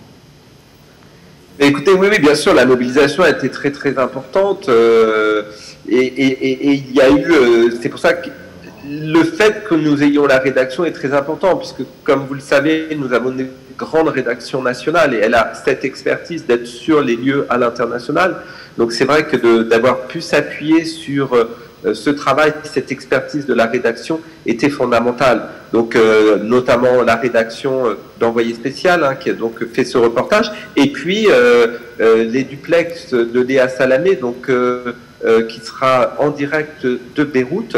Pourquoi le direct? Parce que de la même façon, nous en parlions, qu'il était important de montrer cet effort, cette volonté de de reconstruire. Il nous semblait euh, essentiel que Léa Salamé puisse euh, en direct nous faire ressentir euh, avec ses invités les émotions et ce qui se passait, ce qui se passe, excusez-moi, à l'instant où, actuellement à Beyrouth. Donc voilà, donc un grand travail qui a été mené avec les équipes de France Télévisions, avec les producteurs également, puisque cette soirée est produite par deux maisons de production avec qui nous avons l'habitude de travailler. Donc il y a eu un travail très très important. Je voudrais aussi souligner le travail que nous avons mené avec l'UER, hein, qui est l'Union des télévisions européennes, et, cette l'UER qui, met à disposition le signal euh, pour permettre aux télévisions, notamment euh, ici au Liban, de pouvoir euh, retransmettre ce, concert. Et donc voilà, c'est un travail vraiment de mobilisation générale, et on voit bien que chacun a voulu mettre sa pierre pour que cet événement soit le plus exceptionnel possible. يعني عم بيقول السيد أرنو أنه فريق عمل كبير تجند لا يأكد على نجاح هذا الحدث الكبير وهالنهار الطويل وحتى كان في فريق تجند من بيروت وفريق من فرنسا لأنه الإعلامية اللبنانية الفرنسية ليا سلامة رح تكون موجودة ببيروت غدا ورح تكون عم تستقبل الضيوف مباشرة على أثير قنوات فرانس تلفزيون تتنقل فعلا الواقع اللي عايشينه اللبنانيون يكون في شهادات حياة بطريقة مباشرة وعم بيقول كمان إنه يعني هو عم بيشكر كل اللي شاركوا بتنظيم هيدا هيدا النهار إن كان ببيروت قدموا خبرتهم وإن كان بفرنسا خصوصي فريق الأخبار وفريق انفويي سبيسيال يعني البرنامج الشهير اللي عنده خبرة كبيرة على الأرض Monsieur Arnaud Ngacha, vous parliez également de, du partenariat avec Radio France Inter. Racontez-nous un peu comment se passe ce partenariat et qu'est-ce qui se passera sur les ondes de France Inter durant la journée. Alors sur les ondes de France Inter, il va y avoir euh, une mobilisation importante également de, la radio publique et de, France Inter, puisque euh, ils seront euh, notamment dès la matinale, il y aura une mobilisation importante de leurs antennes dès la matinale avec Léa Salamé, qui sera donc depuis Beyrouth, elle, lors de la matinale. Pareil, sur les antennes de France Inter, il y a un rappel régulier de l'appel au don. Euh, des spots également euh, de promotion euh, du concert. Et au cours de la journée, il y aura un certain nombre d'émissions qui reviendront sur le concert, qui feront la promotion également de cette soirée et du concert. Donc voilà, France Inter également, Radio France plus, plus largement et France Inter s'est fortement mobilisé également autour de, de l'événement. نعم يعني عم بيقول السيد ارنون جاتشا إنه رح يكون في شراكة كمان مع إذاعة راديو فرانس وراديو فرانس انتر بالتحديد وهي رح تكون كمان عم تستقبل ضيوف طيلة النهار نهار يوم غد. ضيوف لهم علاقه بلبنان من بيروت مع ليا سلامه ورح يكون في كمان ايضا تسويق للحدث الفني اللي رح يصير بالليل. Monsieur Arnaud, cet événement reste quand même assez rare et assez exceptionnel. Je ne pense pas que France Télévisions fasse souvent ce, ce genre d'événement pour d'autres pays. C'est dire que les, les Français ont vraiment à cœur d'aider le Liban et les Libanais. Racontez-nous comment vous voyez ce lien unique qui lie nos deux pays, la France et le Liban. Effectivement, euh, nous à France Télévisions, nous faisons euh, des grandes opérations spéciales euh, autour de, grands sujets. Par exemple, la, dernière fois, nous avions fait une grande opération spéciale, notamment autour de l'environnement, des causes importantes euh, que nous défendons euh, ici. Et également, nous avions euh, fait une grande opération spéciale lorsque l'incendie de, lors de l'incendie de Notre-Dame. Alors, pourquoi là, on a voulu se mobiliser de la sorte autour de la tragédie d'un des habitants de Beyrouth pardon, et des Libanais? Comme vous dites, c'est ce lien très particulier hein, qui est uni notre pays et le vôtre et le Liban, la France et le Liban, euh, un lien historique, un lien culturel aussi, euh, des liens d'amitié forts. Euh, on l'a vu à travers d'ailleurs, comment dire, cette, cette émotion hein, qui a suscité, qui a été soulevée suite à, à, ce drame. Et, et donc la télévision publique, il était important qu'elle puisse répondre euh, à cette émotion et que nous soyons présents pour euh, aider euh, les Libanais. نعم يعني عم بقول السيد ارنو انه هن لهم بالعاده يعملوا events من هالنوع أو أو عمليات خاصة من هيدا النوع لكن مش دائما بينعمل لبلد نهار كامل مخصص مثل ما رح يعملوا للبنان إنما كان في موجة تعاطف كثير كبيرة من قبل فرنسا والفرنسيين من بعد انفجار 4 آب وحبوا يترجمها التلفزيون الفرنسي الرسمي على طريقته وبيقول إنه هناك علاقة وصلة تاريخية ثقافية آه، وطيده وصداقه عميقه بين الشعبين الفرنسي اللبناني فمن البديهي انه فرنسا تنظم هيك نوع مبادرات لمساعده آه، اللبنانيين. Monsieur Arnaud, euh, pour rappel, la soirée de demain sera diffusée sur TV5 Monde et France 24 également. Oui. D'accord. Tout à fait, tout à fait. France 24, TV5 Monde euh, ont voulu s'associer euh, évidemment à l'événement euh, et, et, nous étions ravis d'avoir euh, ces deux grands médias publics euh, qui sont tournés vers l'international. Euh, c'est très important. Ça va euh, permettre à, des tas de téléspectateurs de pouvoir avoir accès à la soirée, au concert. Et nous en sommes ravis et, et, nous sommes ravis de, de, pouvoir collaborer avec ces, ces, groupes publics. c'est important, ça fait partie de la collaboration que France Télévisions a avec les différents partenaires publics en France. Nous sommes ravis en tout cas également d'annoncer que la soirée sera diffusée également sur notre antenne, sur, la chaîne, euh, sur notre chaîne euh, Télé Liban. Bien sûr. Sûrement. Laquelle ben, euh, Allez-y. C'est formidable que vous le diffusiez, c'est fondamental et c'est pour ça que je, je soulevais le, travail fait par l'UER pour permettre d'avoir accès au signal et c'est fondamental pour que des télés telles que la vôtre puissent retransmettre le concert. نعم يعني عم بيقول السيد أرنو إنه الحدث الفني أو السهرة الفنية رح تكون مباشرة من مسرح الأولمبيا بباريس رح تنقل على عدة قنوات بالعالم مثل TV5 Monde و France 24 وبلبنان. رح تنقلها شاشة تلفزيون لبنان بكرة. بعد الأخبار يعني أكيد رح تقدروا تتابعوا هيدي السهرة الفنية وهذا الحدث الضخم اللي اللي عم بيصير بفرنسا لمساندة لبنان واللبنانيين. Monsieur Arnaud, il y avait des rumeurs que le président français pourrait participer d'une manière ou d'une autre à cette journée? Pouvez-vous confirmer euh, je, ne, je, ne, gère pas l'agenda du président de la République française, donc euh, ça, je ne pourrais pas vous répondre. Euh, voilà, en tout cas, je, je sais qu'il est parfaitement au courant qu'il y a cette soirée, euh, mais il ne m'appartient pas de savoir si le président de la République s'y déplacera ou pas. C'est au service de l'Élysée de s'exprimer sur cette question. Il sera possible également de suivre cette soirée sur les réseaux sociaux? Oui, tout à fait. Sur les réseaux sociaux, comme je vous disais, euh, nous, nous avons euh, des antennes digitales aujourd'hui qui sont euh, très développées. Nous avons non seulement prévu des, des, programmes d'accompagnement, on va dire, que ce soit dans les coulisses de l'événement, et évidemment sur notre plateforme France.tv, le concert sera disponible.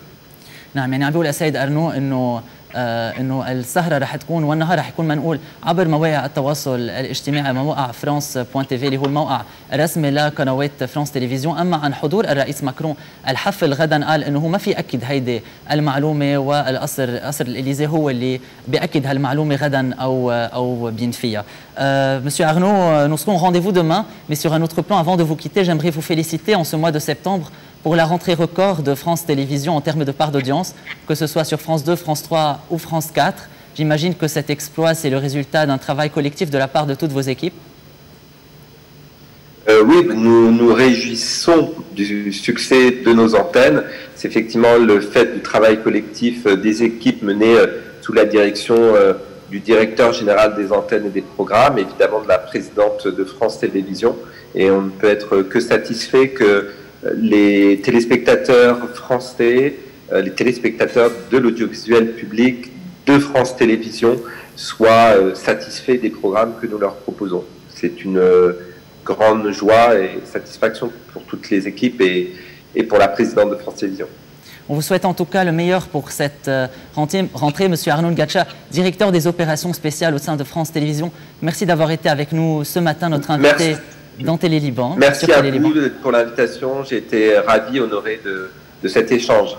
Merci pour, pour tout ce que vous faites, tout ce que la France fait pour le Liban. Nous vous en sommes reconnaissants. On espère que la journée de demain sera un franc succès. Nous également. Merci. très bientôt. مشاهدينا إذا بنذكر إنه السهرة اللي كنا عم نحكي عنها السهرة اللي رح تصير بمسرح الأولمبيا بباريس رح تنقل مباشرة عبر قناة وشاشة تلفزيون لبنان أكيد رح تقدروا تتابعوا هالحدث المهم. فاصل قصير وبعده بنتابع أحلى صباح.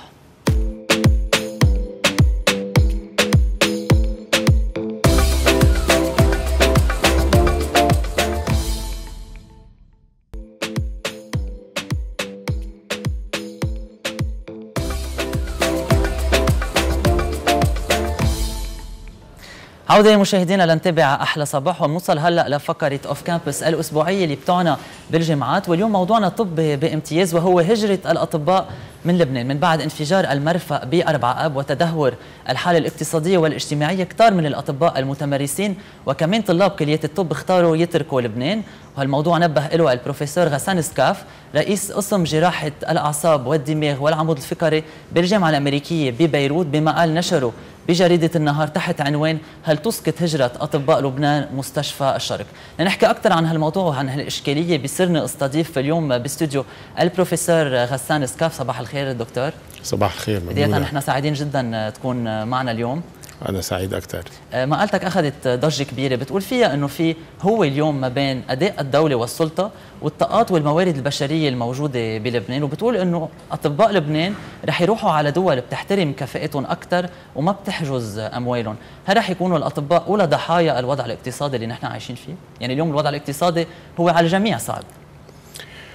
آه طبعا بداية آه بدي أقول لك أنه في أربع مكونات بلبنان أو أربع أعمدة في لبنان اللي هن شكلوا لبنان اللي بنعرفه آه ابتداء بالمصارف آه ثانيا الجامعات والتربية آه السياحة والاستشفاء. نعم. هودي الأربع أعمدة للبلد.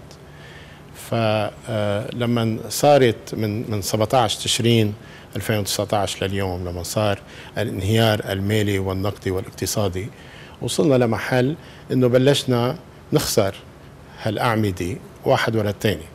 أنا اعتبرت بالمقاله اللي حطيتها أنا اعتبرت إنه آخر عمود بعد موجود هو عمود الاستشفاء لأنه آه نحن خسرنا آه المصارف وخسرنا السياحة بطبيعة الحال. بطبيعة الحال. فبعد في عندنا التعليم والاستشفاء. التعليم عم ينهار مع مع كل اللي عم نشوفه بالتعليم. وبعد في عندنا الاستشفاء مشان هيك كانت المقالة. نعم. هل اليوم رح يكونوا الأطباء أولى الضحايا؟ لأنه هن عندهم يعني إذا بدنا نقول هجرة متاحة وسهلة أمامهم لأنهم كفؤين وبيقدروا يروحوا على بلاد تانية؟ يعني هل هل الهجرة أسهل على الأطباء اليوم؟ الهجرة أسهل على الأطباء يلي هن الفكرة هي إنه الأطباء يلي عم نخسرهم هن الأطباء المميزين نعم. بالبلد. هن الأطباء اللي قادرين يسافروا. هن الأطباء يلي حايزين على شهادات جامعية ومن من بلاد برا ويلي هن عندهم كفاءة ويلي بيعتمد عليهم البلد. صحيح. نحن عم نقدر ناخذ المرضى وسمونا مستشفى الشرق وعندنا سياحة استشفائية ممتازة كانت بالسنوات الماضية لأنه عندنا أطباء مميزين وهدول اللي رح نخسرهم. يعني نحن رح نخسر نخبة النخب. عندنا أرقام اليوم عن هجرة الأطباء بلبنان إن كان بالماضي وهلأ؟ يعني اللي بقول لك إياه ما في أرقام دقيقة بس فينا نعرف إنه بالمستشفيات الجامعية الكبيرة يعني مثلا في أربع خمس جامعات مستشفيات جامعية بهودي المستشفيات في آه، هجرة كبيرة وهدول هن الأطباء المميزين واللي حايزين على آه، شهادات آه، كبيرة بتخولهم إنه يقدروا أو يرجعوا على دول أوروبية أو يروحوا على دول أمريكية أو يروحوا على دول عربية نعم اليوم وين وجهتهم هالأطباء؟ يعني هل وجهتهم المفضل هي دول الخليج؟ أكثرية الأطباء يعني في بتعرف في حاجة بالخليج لأطباء مميزين. آه، عندهم كل شيء عندهم المستشفيات عندهم تجهيزات عندهم الأموال يلي بيقدروا يصرفوها. وقسم كتير كبير من الأطباء آه، وجهتهم الخليج. يعني للأسف كانوا أشقائنا الخليجيين يجوا يتحكموا عنا بلبنان صرنا نحن عم نصدر نحن حكمة حكمة للخارج. بروفيسور حتى من قبل تدهور الوضع الاقتصادي كان في هجرة للأطباء بلبنان. هل اليوم الجامعات عم تنتج أطباء أو حكمة أكثر من ما بيستوعب سوق العمل بلبنان؟ هلا الشيء الأكيد إنه سوق العمل بلبنان ما بيحمل آه، عدد الأطباء وعدد آه، كليات الطب اللي موجودة في لبنان. مشان هيك الهجرة إلى الدول العربية خصوصا والخليج بنوع خاص آه، كانت بوتيرة آه، مقبولة. نعم. يعني كان الاوفر فلو كان يروح للدول العربية. بس اليوم الخطورة هي إنه عم نخسر الأطباء يلي بيرتكز عليهم النظام الاستشفائي بالبلد. يعني اللي هن؟ يلي هن الأطباء المميزين والأطباء الكبار. يلي آه، بيستقطبوا الخليجيين أو بيستقطبوا آه، المرضى من دول من دول آه، الخليج العربي أو دول العربيه أو حتى من أوروبا. يعني نحن بيجينا مرضى من أوروبا بيجوا لهون ليتحكموا. فهودي رح نخسرهم. وفي مشكلة مش بس عند الأطباء المتمارسين يعني كمان طلاب كليات الطب دائما بيلاقوا صعوبة يلاقوا مراكز شاغره بمستشفيات لبنان. إيه لأنه عدد لأنه ما في ما في دراسة مضبوطة للعدد اللي نحن بحاجة له بكلية الطب. فكل كلية طب عم تزيد عدد المتخرجين وعدد الأطباء آه، من دون رادع ومن دون آه، مراقبة آه، شديدة من وزارة التربية أو التعليم العالي أو من وزارة الصحة. نعم دكتور سكاف بقلب المشكلة اليوم في مشكلة المستشفيات والقطاع الصحي. عامة. يعني اليوم شفنا إنه الخدمات الصحية عم تتراجع. يعني ما بقى في الاعتمادات اللازمة للمستشفيات بطلت موجودة. قطاع الاستشفاء تضرر من وراء أزمة كورونا وكمان من وراء انفجار المرفأ. هل هذا رح يأثر بشكل مباشر على الطاقم الطبي؟ يعني هل معقول نشهد موجة صرف جماعي لأطباء من مستشفيات لبنان؟ شوف آه، جائحة كورونا والانفجار الأخير هيدول فرجونا إنه النظام الصحي في لبنان في نتوءات معينة آه لازم تصحيحها. آه ما في شك إنه نحن بحاجة لإعادة نظر في النظام الصحي آه الطبي في لبنان. في ثلاث عوامل وكثير كبار. واحد منهم هو إنه عندك ب طبيب لحتى يضل عنده الكفاءة اللازمة لحتى يقدر يشتغل. لازم له تثقيف طبي مستمر. ثانيا يعني بده يكون ببيئة تسمح لهذا الموضوع. وهلأ بسبب الوضع المالي والاقتصادي منا قادرين اليوم ان نحافظ على هذا المستوى. فإذا الطبيب ما حافظ على مستواه ما رح يقدر يكفي بنفس المستوى ويضل بنفس بحس حاله عم يرجع لورا. بحس حاله عم يرجع لورا. ثانيا المستشفيات رح يكون عندها صعوبة بالوضع المالي اللي عندنا إياه إنها تفتح اعتمادات أو تكفي بالتجهيزات اللازمة لحتى آه، تضل محافظة على مستواها كمستشفى نعم. وثالثا اجى انفجار بيروت يلي هدم عدد كبير من المستشفيات يعني بالقليله عندها خمس مستشفيات كبرى يلي تهدمت بسبب آه، بسبب عندها خساره يعني بملايين بملايين الدولارات ملايين الدولارات صح يعني اليوم آه، دكتور اسكاف بتطالب بمقالتك بخطة رؤيوية جديدة للقطاع الصحي والاستشفائي بلبنان، اليوم شو المطلوب تحديدا برأيك؟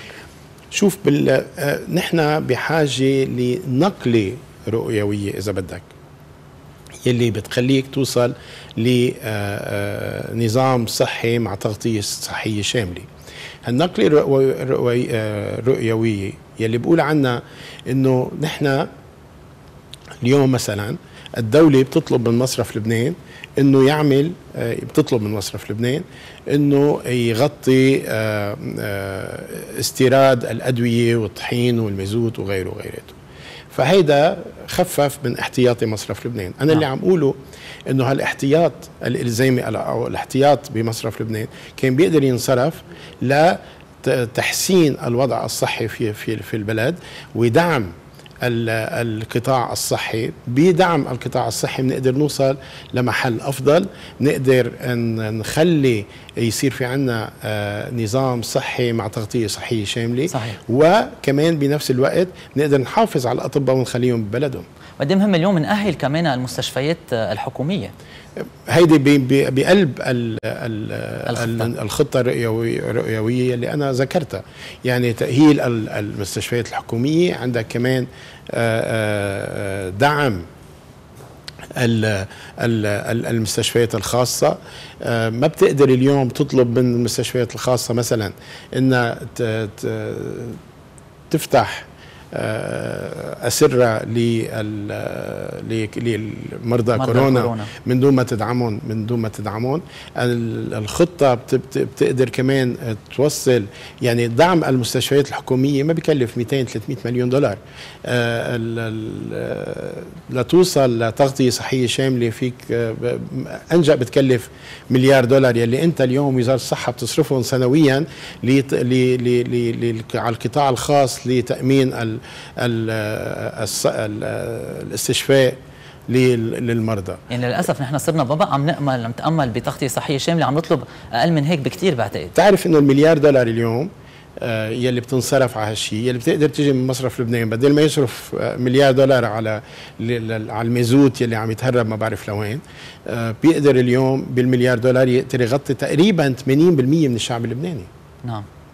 ليه هالشيء بعد ما انعمل؟ برأيك؟ لأنه ما في ما يمكن ما في خطة ما في رؤية يعني بدها إصلاحات كثير يعني هيدي يمكن من لازم تكون من مهمات الحكومة المقبلة. بروفيسور حضرتك أستاذ محاضر بجامعة اليوبي وعلى احتكاك مباشر مع الشباب وطلاب كلية الطب اليوم شو هوجهتهم هالشباب وشو بتنصحهم يعني اليوم بتشعر إنه أكثرهم متوجه نحو الهجرة؟ أنا بشعر إنه الاطباء الأطباء المتخرجين عندنا يعني تقريبا فقدوا الأمل. كان عندهم شوية أمل لما صارت ثورة 17 تشرين إنه رح يصير في تغيير بال بالنظام التحاصصي اللبناني يلي معروف. آه، بيصير في عندهم أمل إنه يقدروا يلاقوا شغل وغيره. اليوم من بعد آه، من بعد آه، يعني إجينا ثلاث ضربات وحدة منهم 17 تشرين الثورة وحدة منهم كورونا وآخرها بالانفجار والوضع الأمني المتقلب يلي ما بنعرف شو لوين بده يوصلنا بعد شوي. يعني كله هيدا بادمغه الأطباء يلي هن مبلشين. يعني أطباء مثلنا نحن يمكن نقدر نفكر إنه نضل بالبلد أو بنروح وبنجي أو بس هدول عندهم مستقبل يعني عندهم 30 40 سنة لقدام بدهم يعرفوا وين بدهم يشتغلوا والاستقرار هو أهم شيء. نحن عندنا مشكلة بالثقة يلي يلي عم تنفقد بالبلد. عندنا آه، فقدان ثقة آه، بحكومتنا بسياسيينا إذا بدك. والثقة هي آه، من اهم أهم ركائز البقاء في بلد أو بكل القطاعات اللي ذكرتها إن كان القطاع المصرفي القطاع الاستشفائي القطاع التربوي يعني من دون ثقة ما بعتقد ولا واحد من هالقطاعات بيقدر فعلا يكون ينهض بنفسه.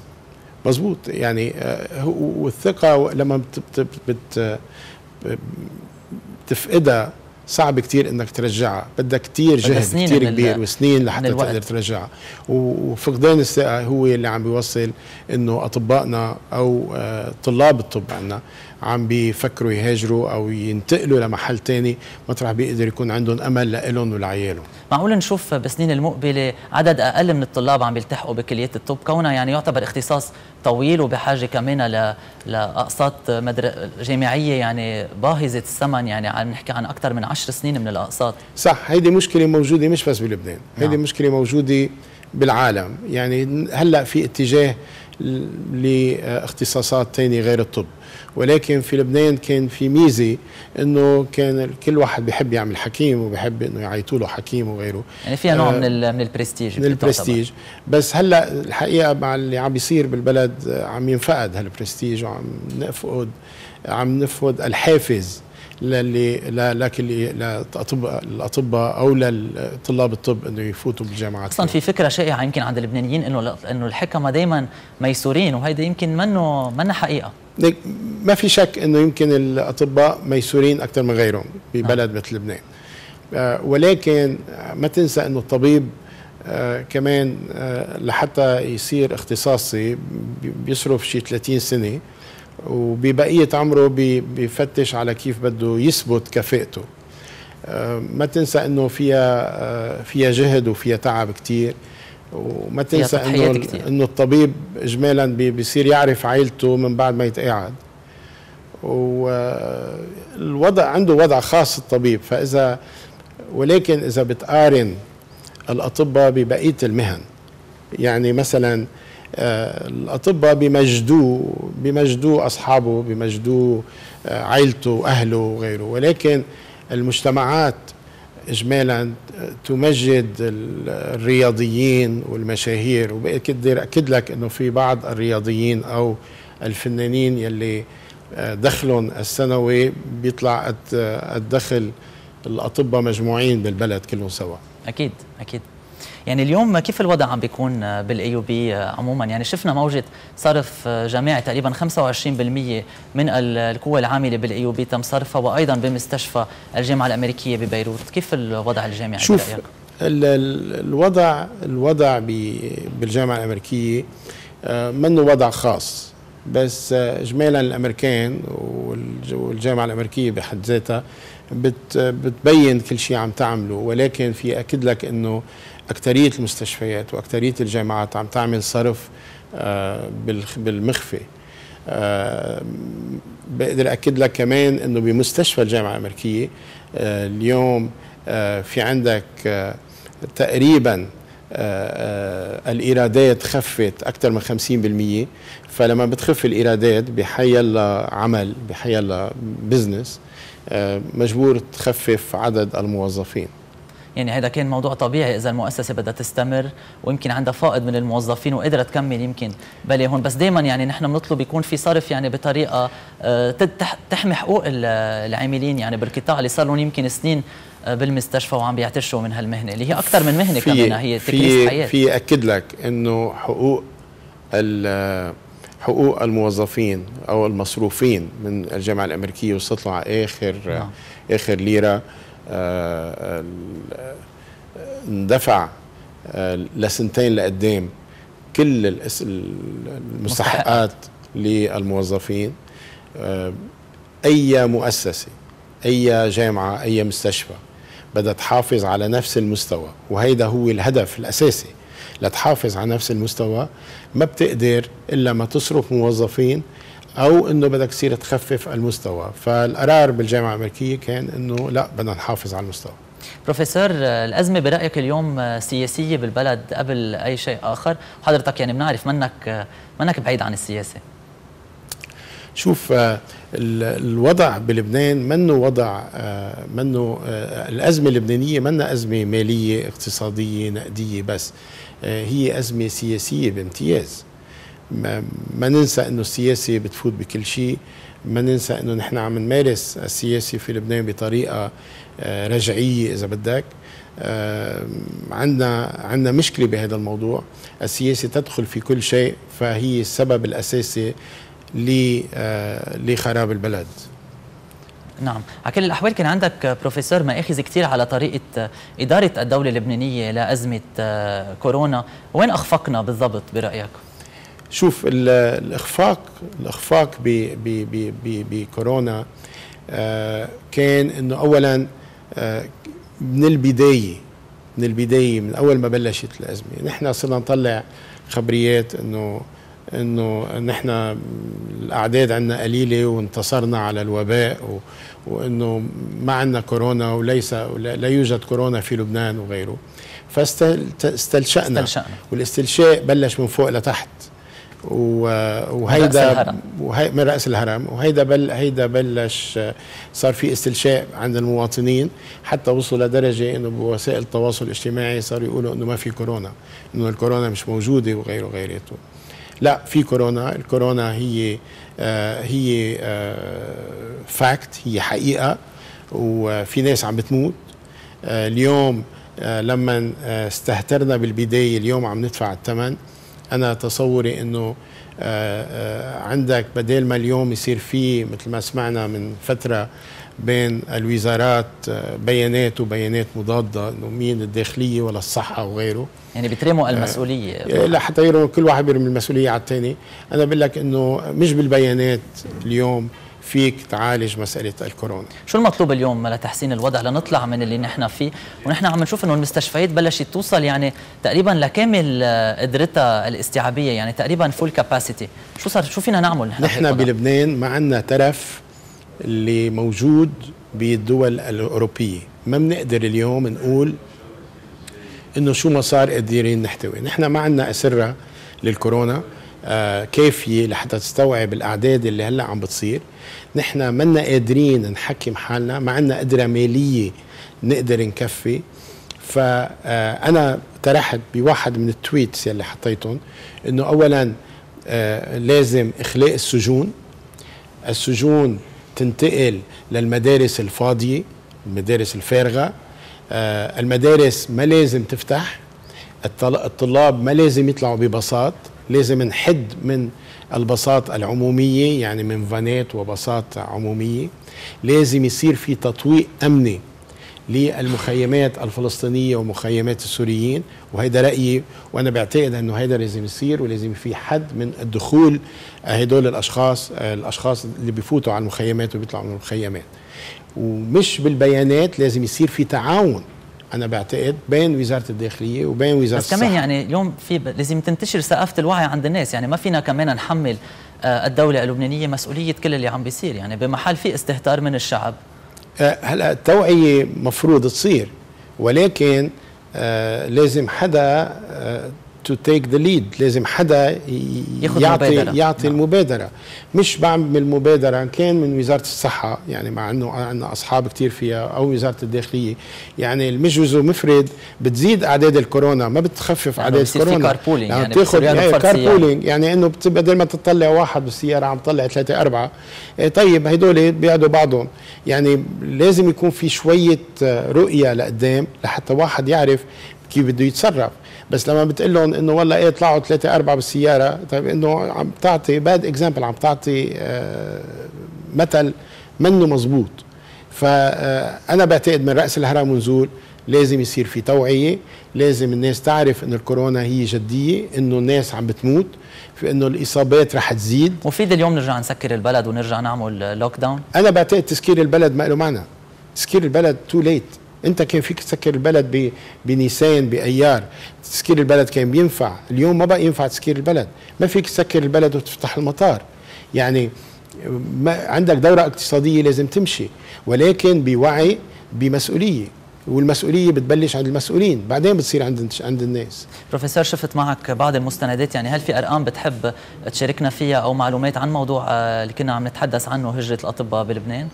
يعني بقدر أقول لك إنه آه الهجرة اليوم آه كتير كبيرة بنخبة أطباء لبنان ولازم الدولة تتحرك اليوم لحتى تغير بالرؤية للوضع الطبي الوضع الاقتصادي بالبلد لحتى نحافظ على هدول الأطباء. ما بدي أعطيك أرقام لأنه بعدها أنا بعتقد بالثلاث أربعة أشهر اللي جايين رح نشهد هجرة أطباء كتير كبيرة يعني إذا بدي أسألك سؤال مفتوح بالآخر بتشوف لبنان بيرجع مستشفى الشرق ولا صعبة؟ بيقدر يرجع مستشفى الشرق إذا غيرنا الطقم آه السياسي الموجود بالبلد لأنه السياسي داخلي بكل شيء بالبلد نعم يعني على أمل يبقى لبنان مستشفى الشرق ويطلع يمكن من حالة الموت السريري اللي هو فيها فينا نقول. ويبقوا شبابه وطلابه واطبائه بلبنان. أنا بدي أشكرك بروفيسور غسان سكاف رئيس شكرا. قسم جراحة الأعصاب والدماغ والعمود الفقري بالجامعة الأمريكية ببيروت. وأكيد بنتمنى تقدر تتبوأ مراكز مسؤولية قريبا لتقدر فعلا ترجم هالرؤية اللي عندك إياها للقطاع الطبي والقطاع الاستشفائي بلبنان. تسلم أنا ممنون. أهلا وسهلا فيك الله يخليك. مشاهدينا لهون بتكون وصلت نهاية حلقتنا من أحلى صباح. موعدنا بيتجدد بكرة بتمام الساعة 9 مع ضيوف جديد ومواضيع جديدة. تابعونا دائما عبر شاشة تلفزيون لبنان